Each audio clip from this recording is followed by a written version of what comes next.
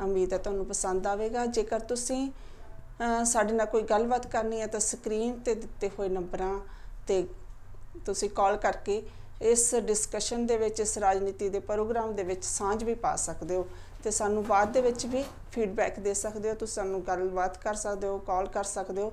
Screen ਤੇ ਜੋ number ਦਿੱਤੇ ਗਏ ਹੈ। ਸੋ ਕੀ ਹਾਲ ਹੈ ਸੁਸਵਾਸ ਜੀ? ਹਾਲ ਠੀਕ ਹੈ ਜੀ। ਹਾਲ ਵਧੀਆ ਹਾਲ ਤਾਂ ਹਾਂ, ਕਿਹੜੇ ਗੱਲਾਂ ਰਹਿੰਦੀਆਂ ਹਾਂਜੀ ਦੇਖੋ ਜਿਵੇਂ ਕਹਿੰਦੇ ਆ ਕਿ ਝੱਖੜ, ਮੀਂਹ ਨੇਰੀ ਦਾ ਜਿਹੜਾ ਸੀਗਾ ਵੋਟਾਂ ਦਾ ਉਹ ਜਿਵੇਂ ਲੰਘ ਕੇ ਤੇ ਬਾਅਦ ਦੇ ਵਿੱਚ ਜਿਵੇਂ ਝੱਖੜ ਤੋਂ ਬਾਅਦ ਕੁਝ ਦਰਖਤ ਟੁੱਟ ਟੁੱਟ ਜਾਂਦੇ ਆ ਕੁਝ ਬੂਟੇ ਹਰੇ ਭਰੇ ਵੀ ਲੱਗਦੇ ਆ, ਉਸ ਤਰ੍ਹਾਂ ਦਾ ਇੱਕ ਮਾਹੌਲ ਜਿਹਾ ਲੱਗਦਾ ਕਿ ਹੁਣ ਜਿਹੜਾ ਝੱਖੜ ਹੈ, ਉਹ ਲੰਘ ਗਿਆ, ਹਨੇਰੀ ਲੰਘ ਗਈ, ਮੀਂਹ ਮੂੰਹ ਪੈ ਕੇ, ਐਨ ਜਿਹੜਾ ਬਾਅਦ ਚ ਇੱਕ ਮਾਹੌਲ ਜਿਹਾ ਬਣਦਾ, ਉਸ ਤਰ੍ਹਾਂ ਦਾ ਮਾਹੌਲ ਵੋਟਾਂ ਤੋਂ ਬਾਅਦ ਬਣ ਗਿਆ ਲੱਗਦਾ ਹੈ। ਸੋ ਪਿੱਛੇ ਵੀ ਅਸੀਂ 2-3 ਮਹੀਨਿਆਂ ਤੋਂ ਵੋਟਾਂ ਬਾਰੇ ਹਰ ਰੋਜ਼ ਅਪਡੇਟ ਤੁਹਾਨੂੰ ਦਿੰਦੇ ਰਹੇ ਹਾਂ, ਗੱਲਬਾਤ ਕਰਦੇ ਰਹੇ ਹਾਂ ਤੇ ਅੱਜ ਫਿਰ ਅਸੀਂ ਇਹੋ ਜਿਹਾ ਇੱਕ ਪ੍ਰੋਗਰਾਮ ਕਿ ਜਿਵੇਂ ਹੁਣ ਤੁਸੀਂ ਦੇਖੇ ਆ, ਨਤੀਜੇ ਤੁਸੀਂ, ਤੁਹਾਨੂੰ ਸਾਰਿਆਂ ਨੂੰ ਹੀ ਪਤਾ ਹੈ ਤੇ ਅੱਜ ਮੇਰਾ ਖਿਆਲ ਹੈ ਕਿ ਅਸੀਂ ਇੱਕ, ਮੈਂ ਨਾ ਫੇਸਬੁੱਕ ਤੇ ਇੱਕ ਕਵਿਤਾ ਦੇਖ ਰਹੀ ਸੀ ਸੰਧੂ ਕਰਕੇ ਸ਼ਾਇਦ ਇੱਕ ਨਵਦੀਪ ਸੰਧੂ ਨੇ ਲਿਖੀ ਇਹ ਕਵਿਤਾ ਹੈ। ਜਾਂ ਹੋ ਸਕਦਾ ਗਲਤ ਵੀ ਹੋਵੇ ਰਾਈਟਰ ਦਾ ਨਾਂ ਪਰ ਇਹ ਕਵਿਤਾ ਮੈਂ ਤੁਹਾਡੇ ਨਾਲ ਜ਼ਰੂਰ ਸ਼ੇਅਰ ਕਰਾਂਗੀ। ਤੁਸੀਂ ਰਿਜ਼ਲਟ ਦੇਖ ਚੁੱਕੇ ਹੋ ਪਰ ਇਹ ਉਸ ਤਰ੍ਹਾਂ ਜੋ ਰਿਜ਼ਲਟ ਸਾਡੇ ਪੰਜਾਬ ਦੇ ਵਿੱਚ ਆਏ ਆ ਉਸ ਤੇ ਇੱਕ ਬੜੀ ਵਧੀਆ ਕਵਿਤਾ ਹੈ ਤੇ ਇੱਕ ਲੇਖਾ ਜੋਖਾ ਜਿਹਾ ਹੈਗਾ ਤੇ ਉਹ ਮੈਂ ਤੁਹਾਡੇ ਨਾਲ ਜ਼ਰੂਰ ਸ਼ੇਅਰ ਕਰਦੀ ਹਾਂ। ਹਾਂਜੀ? ਜੋ ਕਰੋ ਸ਼ੇਅਰ ਕਰੋ। ਕਵਿਤਾ। ਕਈ ਨਾ ਕਵਿਤਾ ਨਾਲ ਹੀ ਬੜਾ ਵਧੀਆ। ਮੈਸੇਜ ਦਿੱਤਾ ਜਾ ਸਕਦਾ। ਹਾਂਜੀ ਇਹ ਤੇ ਸਾਰੀ ਗੱਲਬਾਤ ਨਾ ਜੋ ਵੀ ਵੋਟਾਂ ਦੀ ਹੈ ਤਕਰੀਬਨ ਸਾਰੀ ਕਵਰੇਜ ਕਵਰ। ਹੋ ਜਾਂਦੀ ਹੈ। ਲੋਕਾਂ ਤੋਂ ਆਸ ਕੀ ਲਾਈਏ? ਆਦੀ ਨੇ ਜੁੱਤੀਆਂ ਦੇ। ਲੋਕਾਂ ਤੋਂ ਆਸ ਕੀ ਲਾਈਏ? ਆਦੀ ਨੇ ਜੁੱਤੀਆਂ ਦੇ। ਰਿਸ਼ਤੇ ਵੀ ਗੂੜੇ ਹੋ ਗਏ। ਚੋਰਾ ਸੰਕੁੱਤੀਆਂ ਦੇ। ਖਟਲੂ ਕੀ ਰਾਹੁਲ ਗਾਂਧੀ ਅਮੇਠੀ ਤੋਂ ਹਰ ਕੇ ਜੀ।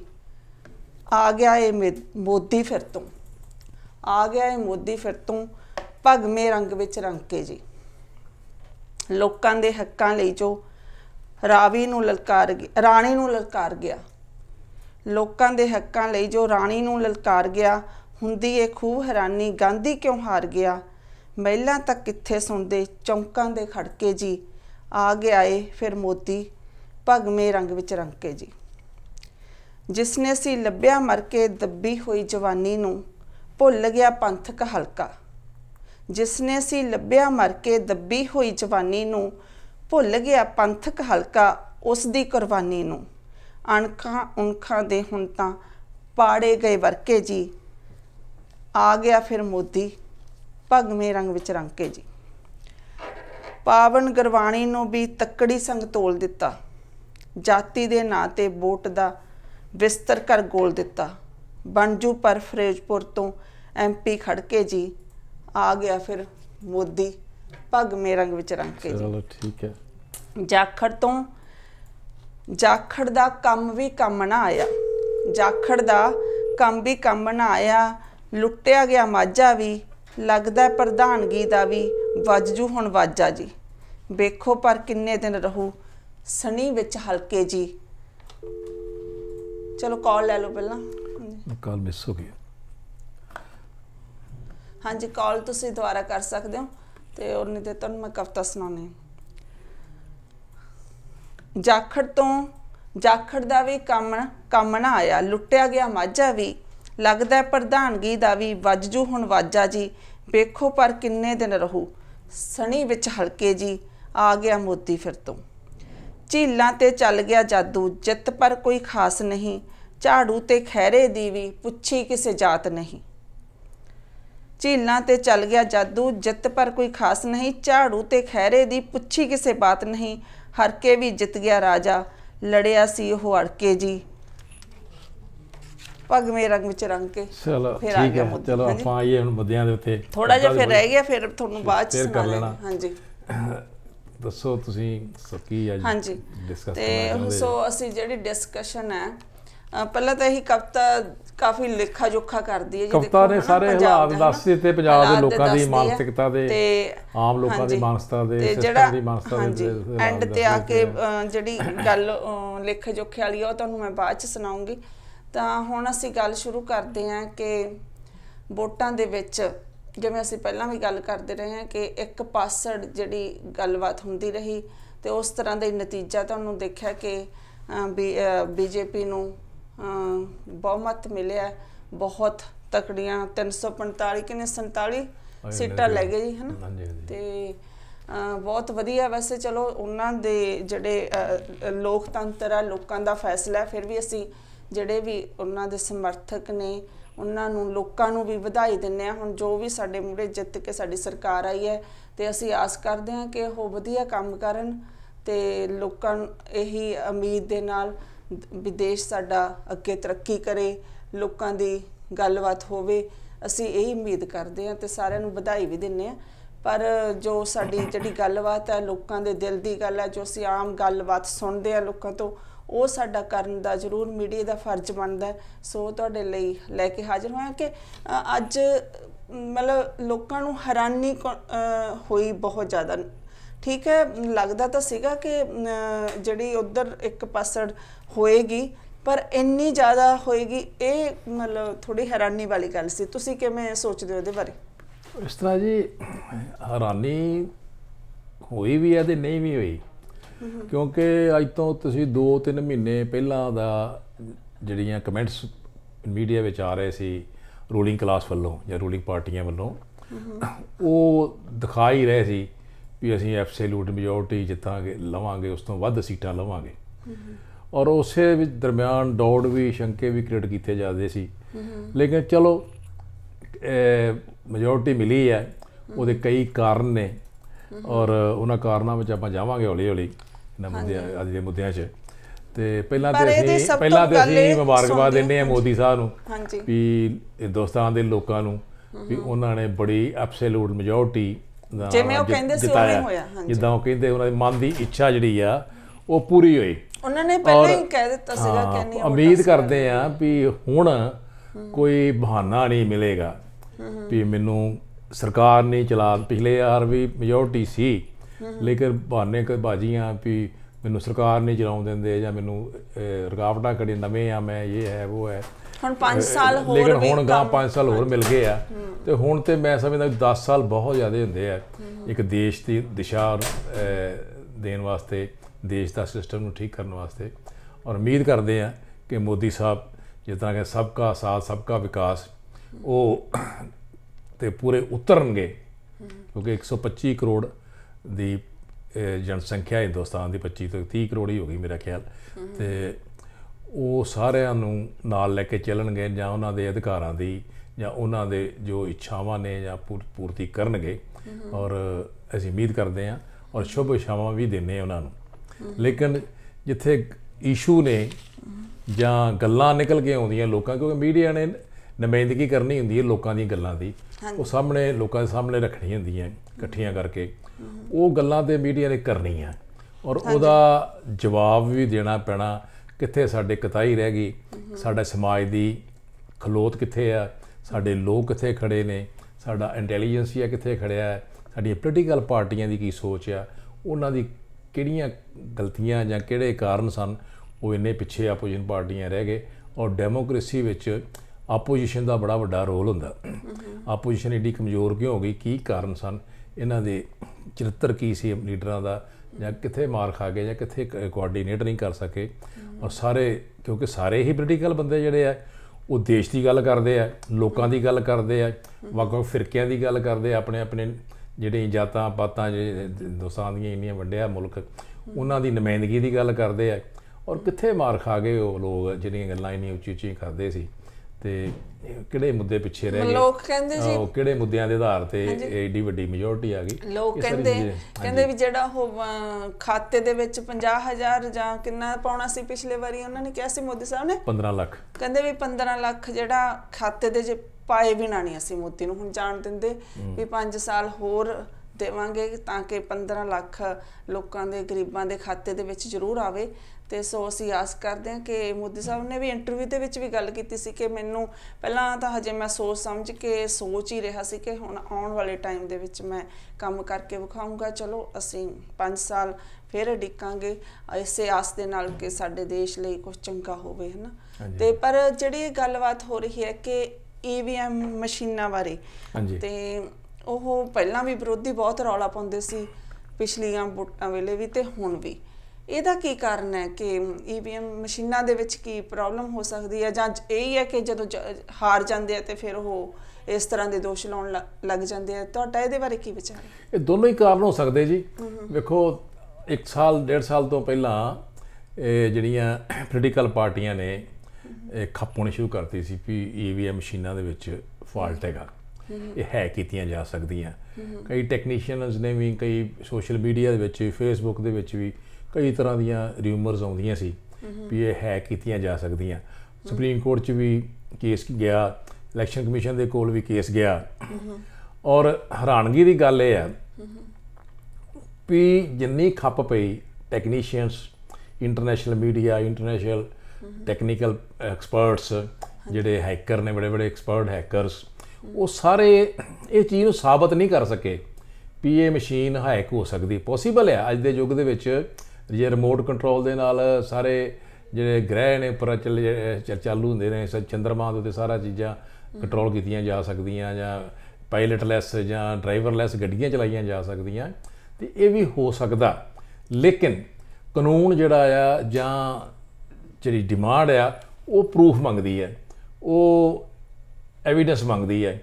ਇਹ ਪੋਲੀਟੀਕਲ ਪਾਰਟੀਆਂ ਇਹ ਐਵੀਡੈਂਸ ਦੇਣ ਚ ਨਾਕਾਮਯਾਬ ਹੋਈਆਂ ਕੋਈ ਵੀ ਪੋਲੀਟੀਕਲ ਔਰ ਦੂਜੀ ਗੱਲ ਇਹ ਵੀ ਜਿਹੜੀ ਬੀਜੇਪੀ ਵਾਲੇ ਆ ਉਹ ਇਸ ਮਸਲੇ ਦੇ ਇਸ਼ੂ ਤੇ ਚੁੱਪ ਰਹੇ। ਪਹਿਲਾਂ ਉਹ ਵੀ ਸਭ ਤੋਂ ਜ਼ਿਆਦਾ ਖੱਪ ਪਾਉਂਦੇ ਹੁੰਦੇ ਜਦੋਂ ਆਪੋਜੀਸ਼ਨ ਦੇ ਵਿੱਚ ਹੀ ਸੀ। ਸਭ ਤੋਂ ਜ਼ਿਆਦਾ ਉਹ ਵੀ ਬੜੀ ਖੱਪ ਪਾਉਂਦੇ ਰਹੇ ਆ। ਵੀ ਈਵੀਐਮ ਇਹ ਮਸ਼ੀਨਾਂ ਸ਼ੁਰੂ ਤਾਂ ਉਦੋਂ ਹੀ ਹੋਈਆਂ ਜਦੋਂ- ਈਵੀਐਮ ਮਸ਼ੀਨਾਂ 'ਚ ਹੇਰਾਫੇਰੀ ਕਰਦੀ ਹੈ ਜੀ ਕਾਂਗਰਸ। ਲੇਕਿਨ ਆਣ ਕੇ ਦੋ ਟਰਮਾਂ ਹੀ ਹੋਈਆਂ ਹਾਂ ਦੋ ਦੋ ਨਹੀਂ ਪਹਿਲਾਂ ਹੀ ਇਹ 1990 ਤੋਂ ਚੱਲਦੀਆਂ ਨੇ ਈਵੀਐਮ ਚੱਲ ਰਹੀ ਸ਼ੁਰੂ ਹੋ ਗਈ ਆ। ਤੇ ਥੋੜੀ ਥੋੜੀ ਕਰਕੇ ਕਾਫੀ ਜਲਦੀ ਚਾਲੂ ਹੋ ਗਈ ਹੈ ਮਸ਼ੀਨ। ਲੇਕਿਨ ਇਹਦੇ ਵਿੱਚ ਕੀ ਹੈ ਵੀ ਜਦੋਂ ਕਾਂਗਰਸ ਰੂਲਿੰਗ ਕਰਦੀ ਸੀ, ਉਦੋਂ ਬੀਜੇਪੀ ਵਾਲੇ ਖੱਪ ਆਉਂਦੇ ਸੀ।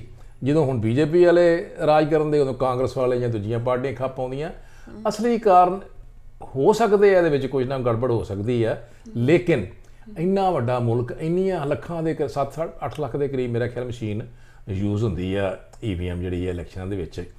ਔਰ ਜਦੋਂ ਇਹ ਚੱਲਦੀ ਕਦੋਂ, ਜਾਂ ਇਹ ਟੈਕਨੀਕਲ ਉੱਥੇ ਖੋਲ ਕੇ ਦਿਖਾਉਂਦੇ ਨੇ, ਇਹ ਜੋ ਜਿਹੜੇ ਪ੍ਰੈਜ਼ਾਈਡਿੰਗ ਅਫਸਰ ਹੁੰਦੇ ਆ, ਜਾਂ ਜਦੋਂ ਡਿਸਟ੍ਰੀਬਿਊਸ਼ਨ ਹੁੰਦੀਆਂ ਮਸ਼ੀਨਾਂ ਉੱਥੇ ਡੀਸੀ ਆਫਿਸ ਦੇ ਵਿੱਚੋਂ, ਤੇ ਉੱਥੇ ਵੀ ਸ਼ੰਕਾ ਕ੍ਰੀਏਟ ਕੀਤੀ ਜਾ ਸਕਦੀ, ਲੇਕਿਨ ਉਦੋਂ ਸਾਰਾ ਕੁਝ ਐਜ਼ ਇਟ ਹੀ ਦਿਸਦਾ ਪਿਆ, ਦਿਸਦਾ ਆ। ਜਦੋਂ ਲੋਕ ਜਦੋਂ VOTING ਪੋਲਿੰਗ ਬੂਥ ਤੇ ਜਾਂਦੀਆਂ ਮਸ਼ੀਨਾਂ, ਉਦੋਂ ਵੀ ਦਿਖਾਇਆ ਜਾਂਦਾ ਵੀ ਲੋਕਾਂ ਨੂੰ ਜਿਹੜੇ ਪੋਲਿੰਗ ਏਜੰਟ ਹੁੰਦੇ ਉਹਨਾਂ ਨੂੰ ਦਿਖਾਇਆ ਜਾਂਦਾ ਵੀ ਦੇਖੋ, ਚੈੱਕ ਕਰ ਲਓ। ਲੇਕਿਨ ਇਹ ਚੀਜ਼ ਜਿਹੜੀ ਅਜੇ ਆਪਾਂ ਡਾਕੂਮੈਂਟ ਤੌਰ ਦੇ ਉੱਤੇ ਜਾਂ ਅਸੀਂ ਉਸ ਤਰੀਕੇ ਨਾਲ ਅਸੀਂ ਇਹਨੂੰ ਇਹਨੂੰ ਸਾਬਤ ਨਹੀਂ ਕਰ ਸਕੇ। ਇਸ ਕਰਕੇ ਅਸੀਂ ਸਾਡਾ ਡਾਊਟ ਕਰਨਾ ਡਾਊਟ ਤੇ ਕਰ ਸਕਦੇ ਹਾਂ। ਹਾਂ, ਇਹਦੇ ਵਿੱਚ ਇਹ ਚੀਜ਼ ਜ਼ਰੂਰ ਆ ਸਕਦੀ ਉੱਭਰ ਕੇ ਆਈ ਸਾਹਮਣੇ। ਸਾਰੇ ਪੋਲੀਟੀਕਲ ਕੈਪਟਨ ਅਮਰਿੰਦਰ ਸਿੰਘ ਦਾ ਵੀ ਕੱਲ ਬਿਆਨ ਸੀ ਵੀ ਅਸੀਂ ਐਮਐਸ ਗਿੱਲ ਸਾਹਿਬ ਨੂੰ ਮਿਲੇ ਸੀ, ਜਦੋਂ ਇਲੈ- ਪਹਿਲਾ ਇਹ ਇਲੈਕਸ਼ਨ ਮਹੀਨਾ ਸੀ ਵੀ ਇਹਨਾਂ ਮਸ਼ੀਨਾਂ 'ਚ ਹੇਰਾਫੇਰੀ ਹੋ ਸਕਦੀ ਹੈ। ਲੇਕਿਨ ਇਹਦਾ ਹੱਲ ਕੀ ਹੈ? ਦਿੱਕਤ ਤੇ ਇਹ ਨਾ ਹ- ਐਡੀ ਵੱਡੀ ਡੈਮੋਕ੍ਰੇਸੀ ਆ। ਡੈਮੋਕ੍ਰੇਸੀ ਵਿੱਚ ਹਜ਼ਾਰਾਂ ਪੋਲੀਟੀਕਲ ਸੈਕੰਡਰੀ ਪਾਰਟੀਆਂ ਪਾਰਟੀਆਂ ਨੇ, ਉਹ ਡਾਊਟ ਕ੍ਰੀਏਟ ਕਰਨ ਤੇ ਉਹ ਬਹਿ ਕੇ ਇਸ ਮਸਲੇ ਨੂੰ ਹੱਲ ਕਰਨਾ ਚਾਹੀਦਾ। ਕਿਉਂਕਿ ਅਗਰ ਜੇ ਅਮਰੀਕਾ ਵਰਗੇ ਮੁਲਕ ਦੇ ਵਿੱਚ, ਆਸਟ੍ਰੇਲੀਆ ਵਰਗੇ ਮੁਲਕ 'ਚ, ਇੰਗਲੈਂਡ ਵਰਗੇ ਮੁਲਕ 'ਚ, ਕੈਨੇਡਾ ਵਰਗੇ ਮੁਲਕ 'ਚ ਜਿਹੜੇ ਐਡਵਾਂਸ ਕੰਟਰੀਜ਼ ਨੇ, ਉਹਨਾਂ ਨੇ ਈਐਮ ਮਸ਼ੀਨਾਂ ਨਹੀਂ ਯੂਜ਼ ਕੀਤੀਆਂ। ਤੇ ਕੀ ਗੱਲ ਹੈ ਵੀ ਆਪਾਂ ਇੰਡੀਆ 'ਚ ਨਹੀਂ ਯੂਜ਼ ਇਹਨੂੰ ਨਹੀਂ ਅਵਾਇਡ ਕਰ ਸਕਦੇ, ਪਰਾਂ ਕਰ ਸਕਦੇ ਜਦੋਂ ਇੰਨੀਆਂ ਚੀਜ਼ਾਂ ਡਾਊਟ ਕ੍ਰੀਏਟ ਕੀਤਾ ਜਾਵੇ। ਅਸੀਂ ਅਗਰ ਸੱਚੇ ਸੁੱਚੇ ਡੈਮੋਕ੍ਰੇਟਿਕ ਆ ਡੈਮੋਕ੍ਰੇਸੀ ਦੇ ਵਿਸ਼ਵਾਸ ਰੱਖਦੇ ਆ ਤੇ ਜੇ ਅਸੀਂ ਪ੍ਰੋਗਰਾਮਾਂ ਦੇ ਵਿੱਚ ਵਿਸ਼ਵਾਸ ਰੱਖਦੇ ਆ ਵੀ ਸਾਡੇ ਪਾਲਿਸੀਆਂ ਦੇ ਨਾਲ ਅਸੀਂ ਜਿੱਤਦੇ ਆ ਤੇ ਫਿਰ ਇਹ ਚੀਜ਼ਾਂ ਤੇ ਇਹ ਮਟੀਰੀਅਲ ਨੇ ਪਹਿਲਾਂ ਵੀ ਵੋਟਾਂ ਜਿਹੜੀਆਂ ਸੀ ਉਹ ਬੈਲਡਰਾਂ ਹੁੰਦੀਆਂ ਸੀ। ਇਹ ਵੱਖਰੀ ਗੱਲ ਆ ਵੀ ਉਦੋਂ ਜਿਹੜੇ ਬੂਥ ਬੂਥਾਂ ਉੱਤੇ ਕਬਜ਼ੇ ਹੋ ਜਾਂਦੇ ਸੀ ਜਾਂ ਕੁਝ ਹੋ ਜਾਂਦਾ ਸੀ, ਲੇਕਿਨ ਉਹ ਉਹ ਵੀ ਮਸ਼ੀਨਰੀ ਦੀ ਫੇਲਰ ਹੁੰਦੀ ਸੀ। ਕਿਉਂਕਿ ਅਗਰ ਮਸ਼ੀਨਰੀ ਜਾਵੇ, ਸਰਕਾਰੀ ਮਸ਼ੀਨਰੀ ਜਾਵੇ, ਤਾਂ ਐਸੀ ਕਿਸੇ ਦੀ ਹਿੰਮਤ ਨਹੀਂ ਹੁੰਦੀ ਵੀ ਉਹ ਜਿਹੜੀ ਆ ਵੋਟ ਜੇ- ਵੋਟ ਰੈਗਿੰਗ ਹੋ ਜਾਵੇ ਜਾਂ ਕੁਝ ਹੋ ਜਾਵੇ।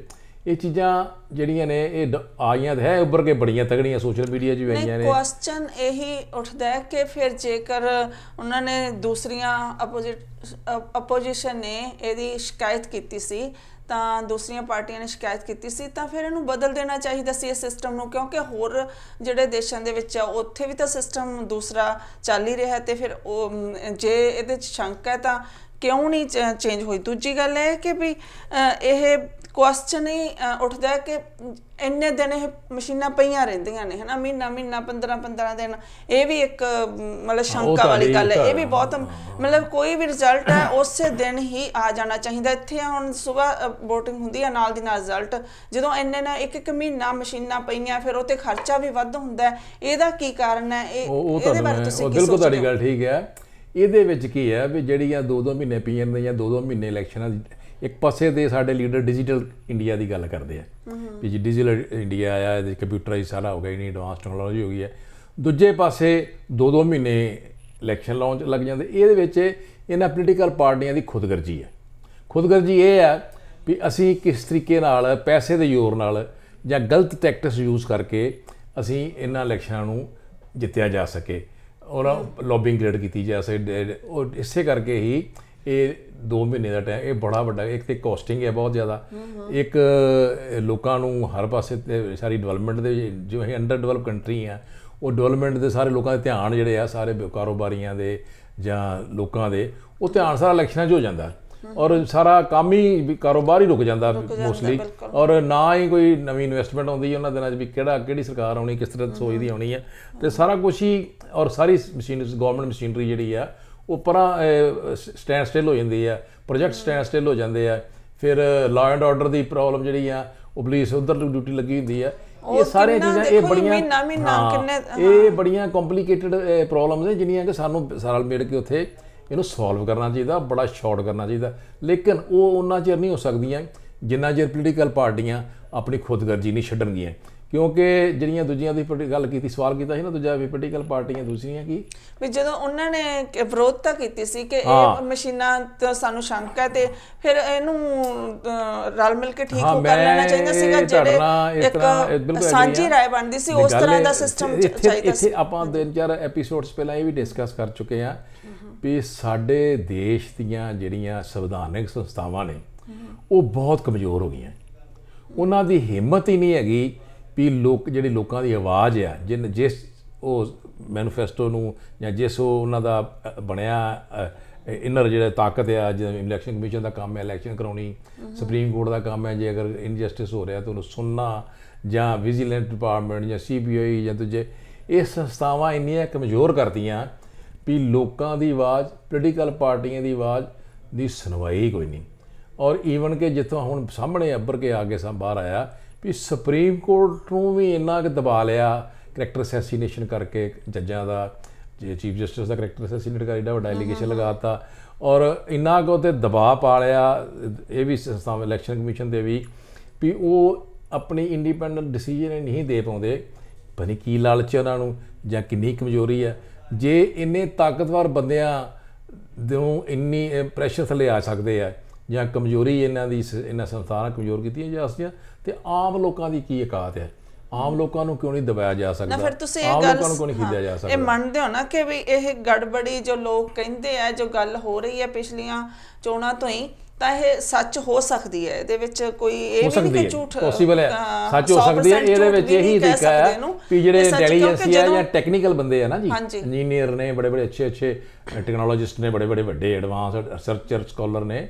ਉਹਨਾਂ ਨੂੰ ਇਸ ਚੀਜ਼ ਤੇ ਰਿਸਰਚ ਕਰਕੇ ਜਾਂ ਕਰਕੇ ਸਾਹਮਣੇ ਆਉਣਾ ਚਾਹੀਦਾ। ਹੁਣ ਵੀ ਇਹ ਵਾਕਈ ਇਹ ਸਿਸਟਮ ਜਿਹੜਾ ਹੈ ਗਲਤ ਹੈ ਇਹ ਹੈਕ ਕੀਤਾ ਜਾ ਸਕਦਾ। ਸਾਹਮਣੇ ਕਿਵੇਂ। ਨਹੀਂ ਹੁਣ ਨਹੀਂ ਤੁਸੀਂ ਆਉਣਾ ਦੇ ਇੱਕ ਬੰਦੇ ਨਹੀਂ ਤੁਹਾਡੀ ਬਿਲਕੁਲ ਠੀਕ ਹੈ। ਸੁਪਰੀਮ ਕੋਰਟ ਵੀ ਹੁਣ ਉਸ ਪਹਿਲਾਂ ਨਹੀਂ ਸੀ ਹੁਣ ਇਸ ਤਰ੍ਹਾਂ ਲੱਗਦਾ ਹੈ ਕਿ ਸੁਪਰੀਮ ਕੋਰਟ ਵੀ ਪ੍ਰੈਸ਼ਰ ਦੇ ਥੱਲੇ ਹੈ। ਈਵਨ ਕਿ ਚੋਣ ਕਮਿਸ਼ਨ ਵੀ ਪ੍ਰੈਸ਼ਰ ਦੇ ਥੱਲੇ ਸੀ ਇਸ ਵਾਰੀ। ਇਹ ਸ਼ਰਿਆਮ। ਇਲਜ਼ਾਮ ਲੱਗਦਾ ਸੀ ਨਹੀਂ। ਸੱਚ ਸੀ ਜਾਂ ਝੂਠ ਮੈਨੂੰ ਨਹੀਂ ਪਤਾ ਪਰ ਆਮ ਇਹ ਗੱਲ ਸੁਣਨ ਨੂੰ ਮਿਲੀ ਤੇ ਹੈ। ਦੱਸੀ ਸਾਹਮਣੇ ਦੱਸਣ ਦਿਆ ਸੀ ਕਿ ਇਲੈਕਸ਼ਨ ਕਮਿਸ਼ਨ ਨੂੰ ਕੰਪਲੇਂਟਸ ਜਾਂਦੀਆਂ ਸੀ ਪ੍ਰਾਈਮ ਮਿਨਿਸਟਰ ਬਾਰੇ ਕਿਉਂਕਿ ਇਲੈਕਸ਼ਨ ਕਮਿਸ਼ਨ ਵਾਸਤੇ ਸਾਰੇ ਇੱਕੋ ਜਿਹੇ ਹੈ। ਜਦੋਂ ਕੈਂਡੀਡੇਟ ਬਣ ਜਾਂਦਾ ਚਾਹੇ ਪ੍ਰਾਈਮ ਮਿਨਿਸਟਰ ਤੇ ਕੋਈ ਪ੍ਰਾਈਮ ਮਿਨਿਸਟਰ ਦੀ ਡਾਇਰੈਕਟ ਇਲੈਕਸ਼ਨ ਨਹੀਂ ਸੀ ਹੋ ਰਹੀ ਕੋਈ। ਇਹਦੇ ਮੈਂਬਰ ਪਾਰਲੀਮੈਂਟ ਦੀ ਇਲੈਕਸ਼ਨ ਹੋ ਰਹੀ ਸੀ। ਮੈਂਬਰ ਪਾਰਲੀਮੈਂਟ ਨੇ ਪ੍ਰਾਈਮ ਮਿਨਿਸਟਰ ਚੁਣਨਾ। ਵੱਖਰੀ ਗੱਲ ਹੈ ਉਹਨਾਂ ਆਪਣਾ ਲੀਡਰ ਨੂੰ ਪ੍ਰੋਜੈਕਟ ਕੀਤਾ ਪਹਿਲਾਂ ਐਡਵਾਂਸ ਕਰ ਲਿਆ ਮੋਦੀ ਸਾਹਿਬ ਨੂੰ। ਲੇਕਿਨ ਚੁਣਨਾ ਤੇ ਐਮਪੀਆਂ ਨਹੀਂ ਹੈ ਨਾ। ਤੇ ਉਹ ਚੀਜ਼ਾਂ ਐਮਪੀ ਦਾ ਐਡਾ ਵੱਡਾ ਪ੍ਰਾਈਮ ਮਿਨਿਸਟਰ ਡੈਮੋਕ੍ਰੈਟਿਕ ਕੰਟਰੀ ਦਾ ਐਡਾ ਵੱਡਾ ਇੱਕ ਐਟੀਟਿਊਡ ਜਾਂ ਉਹਦਾ ਸਟ੍ਰਿਕਟ ਇੰਨਾ ਡਰਨ ਲੱਪੇ ਉਤੋਂ ਇੰਨੀ ਦਹਿਸ਼ਤ ਹੋ ਗਈ ਵੀ ਇਹ ਸੰਸਥਾਵਾਂ ਬੋਲ ਹੀ ਨਹੀਂ ਪਾ ਰਹੀਆਂ। ਗੱਲ ਹੀ ਨਹੀਂ ਕਰ ਪਾ ਰਹੀਆਂ ਕੋਈ ਸੁਣ ਨਹੀਂ ਪਾ ਰਹੀ ਇੱਕ ਉਹਦਾ ਜਿਹੜਾ ਤਿੰਨਾਂ ਤਿੰਨਾਂ ਮੈਂਬਰਾਂ ਦਾ ਕਮਿਸ਼ਨ ਆ ਇੱਕ ਮੈਂਬਰ ਜਿਹੜਾ ਆ ਉਹ ਆਪਣਾ ਜਿਹੜਾ ਨਾ ਸਹਿਮਤੀ ਦਾ ਦੇ ਰਿਹਾ ਆਪਣਾ ਵਿਊਜ਼ ਦੇ ਰਿਹਾ ਉਹਨੂੰ ਨੋਟ ਹੀ ਨਹੀਂ ਕੀਤਾ ਜਾ ਰਿਹਾ ਜਾਂ ਉਹਨੂੰ ਇਨਲਿਸਟ ਹੀ ਨਹੀਂ ਕੀਤਾ ਜਾ ਰਿਹਾ। ਉਹ ਆਖਰ ਤੱਕ ਮੀਟਿੰਗਾਂ ਹੀ ਅਟੈਂਡ ਨਹੀਂ ਕਰ- ਕਰਦਾ ਵੀ ਮੈਂ ਨਹੀਂ ਆਈ ਐਮ ਨਾਟ ਐਗਰੀ ਤੇ ਉਹ ਚੀਜ਼ਾਂ ਜਿਹੜੀਆਂ ਨੇ ਉਹ ਆਈਆਂ ਤੇ ਹੈ ਸਾਹਮਣੇ। ਲੇਕਿਨ ਪਹਿਲਾਂ ਆਪਾਂ ਬੇਨਤੀ ਕੀਤੀ ਵੀ ਇਹ ਸੰਸਥਾਵਾਂ ਕਮਜ਼ੋਰ ਹੋ ਜਾਣੀਆਂ ਹੋ ਗਈਆਂ ਨੇ ਔਰ ਅੱਗੇ ਵੇਖੋ ਕੀ ਹੁੰਦਾ ਹੁਣ ਤਾਂ ਇੰਨੀ ਮੈਜੋਰਟੀ ਆ ਗਈ ਮੋਦੀ ਸਾਹਿਬ ਦੀ ਅੱਗੇ ਇਹਨਾਂ ਸੰਸਥਾਵਾਂ ਨਾਲ ਕਿੱਦਾਂ ਟਰੀਟ ਕਰਦੇ ਆ ਜਾਂ ਕਿੱਦਾਂ ਬਿਹੇਵ ਕਰਦੇ ਆ ਹਾਂਜੀ ਤੁਸੀਂ ਜਿਹੜੀ ਗੱਲ ਕੀਤੀ ਹੈ ਸਬੂਤ ਸਬੂਤ ਕੋਈ ਪੇਸ਼ ਕਰੋ ਸਬੂਤ ਤਾਂ ਅਗਲਾ ਛੱਡਦਾ ਨਹੀਂ ਜਿਹਨੇ ਕੋਈ ਕੁਝ ਵੀ ਗਲਤ ਕਰਨਾ ਸਬੂਤ ਪੇਸ਼ ਕਰਨੇ ਬਹੁਤ ਮੁਸ਼ਕਲ ਹੋ ਜਾਂਦੇ ਆ। ਤਾਂ ਸ਼ਰੇਆਮ ਇਹ ਗੱਲ ਸੀਗੀ ਕਿ ਸਾਰਿਆਂ ਦੀ ਸਾਂਝੀ ਗੱਲ ਹੈ ਦੇਸ਼ ਦੀ ਗੱਲ ਹੈ ਚੋਣ ਕਮਿਸ਼ਨ ਚੋਣਾਂ ਕਿਵੇਂ ਹੋਣੀਆਂ ਚਾਹੀਦੀਆਂ ਸਾਰਿਆਂ ਦੀ ਸਹਿਮਤੀ ਨਾਲ ਹੀ ਹੋ ਜਾਣੀਆਂ ਚਾਹੀਦੀਆਂ ਸੀ। ਇੱਥੇ ਸਬੂਤ ਦੀ ਗੱਲ ਨਹੀਂ ਹੋਣੀ ਚਾਹੀਦੀ ਸੀ। ਸਗੋਂ- ਹਾਂਜੀ ਜਿਹੜੀ ਦੇਸ਼ ਦੀ ਗੱਲ ਕੀਤੀ ਨਾ ਤਾਂ ਹਾਂਜੀ। ਵੇਖੋ ਦੇਸ਼ ਦੀ ਗੱਲ ਕੌਣ ਕਰਦਾ? ਦੇਸ਼ ਦੀ ਗੱਲ ਨਾ ਕੋਈ ਪੋਲੀਟੀਕਲ ਪਾਰਟੀ ਨਹੀਂ ਕਰ ਰਹੀਆਂ। ਇਹਨਾਂ ਨੂੰ ਤੇ ਇਹ ਹੋ ਗਿਆ ਵੀ ਤਾਕਤ ਕਿੱਦਾਂ ਲੈਣੀ ਹੈ। ਅੱਜ ਦੀਆਂ ਇਲੈਕਸ਼ਨਾਂ ਤੁਸੀਂ ਵੇਖ ਹੀ ਲਿਆ ਵੀ ਕਿੱਦਾਂ ਤਾਕਤਾਂ ਲਈਆਂ ਜਾਂਦੀਆਂ ਕਿੱਦਾਂ ਪੈਸੇ ਖਰਚ ਕਰਦੇ ਜਾਂਦੇ ਕਿੱਦਾਂ ਵੋਟਾਂ ਖਰੀਦੀਆਂ ਜਾਂਦੀਆਂ। ਇਹਨਾਂ ਦੇਸ਼ ਐਵੇਂ ਲੋਕਾਂ ਨੂੰ ਨਾਰਾ ਦੇ ਕੇ ਇਮੋਸ਼ਨਲ ਨਾਰਾ ਦੇ ਕੇ ਵੀ ਦੇਸ਼ ਦੇਸ਼ ਦੇਸ਼ ਦੀ ਕੋਈ ਗੱਲ ਨਹੀਂ। ਗੱਲ ਸਿਰਫ ਤਾਕਤ ਹੈ ਕਿ ਤਾਕਤ ਕਿੱਦਾਂ ਲੈਣੀ ਹੈ? ਬਿਲਕੁਲ, ਇੱਕ ਇਸ ਤਰ੍ਹਾਂ ਹੁੰਦਾ ਕਿ ਜਦੋਂ ਵੋਟਾਂ ਪੈਂਦੀਆਂ, ਅੱਗੇ ਵੀ ਗੱਲ ਹੁੰਦੀ ਹੈ ਕਿ ਅਕਸਰ ਜਿਹੜੇ ਉਮੀਦਵਾਰ ਹੈ ਜਾਂ ਲੀਡਰ ਲੋਕ ਹੈ, ਉਹ ਜਿੱਤਦੇ ਹੈ ਤੇ ਲੋਕ ਅਕਸਰ ਹਾਰ ਜਾਂਦੇ ਹੈ। ਉਹੀ ਗੱਲ ਹੋਈ ਹੈ ਕਿ ਅਕਸਰ ਲੋਕਾਂ ਦੀ ਠੀਕ ਹੈ ਸਾਡਾ ਲੋਕਤੰਤਰ ਹੈ, ਪਰ ਲੋਕਾਂ ਦੀ ਜਿਹੜੀ ਆਵਾਜ਼ ਹੈ, ਉਹ ਇਸ ਤਰ੍ਹਾਂ ਦੀ ਹੋਈ ਦਿਖਦੀ ਹੈ ਕਿ ਲੋਕ ਹਾਰੇ ਹੈ।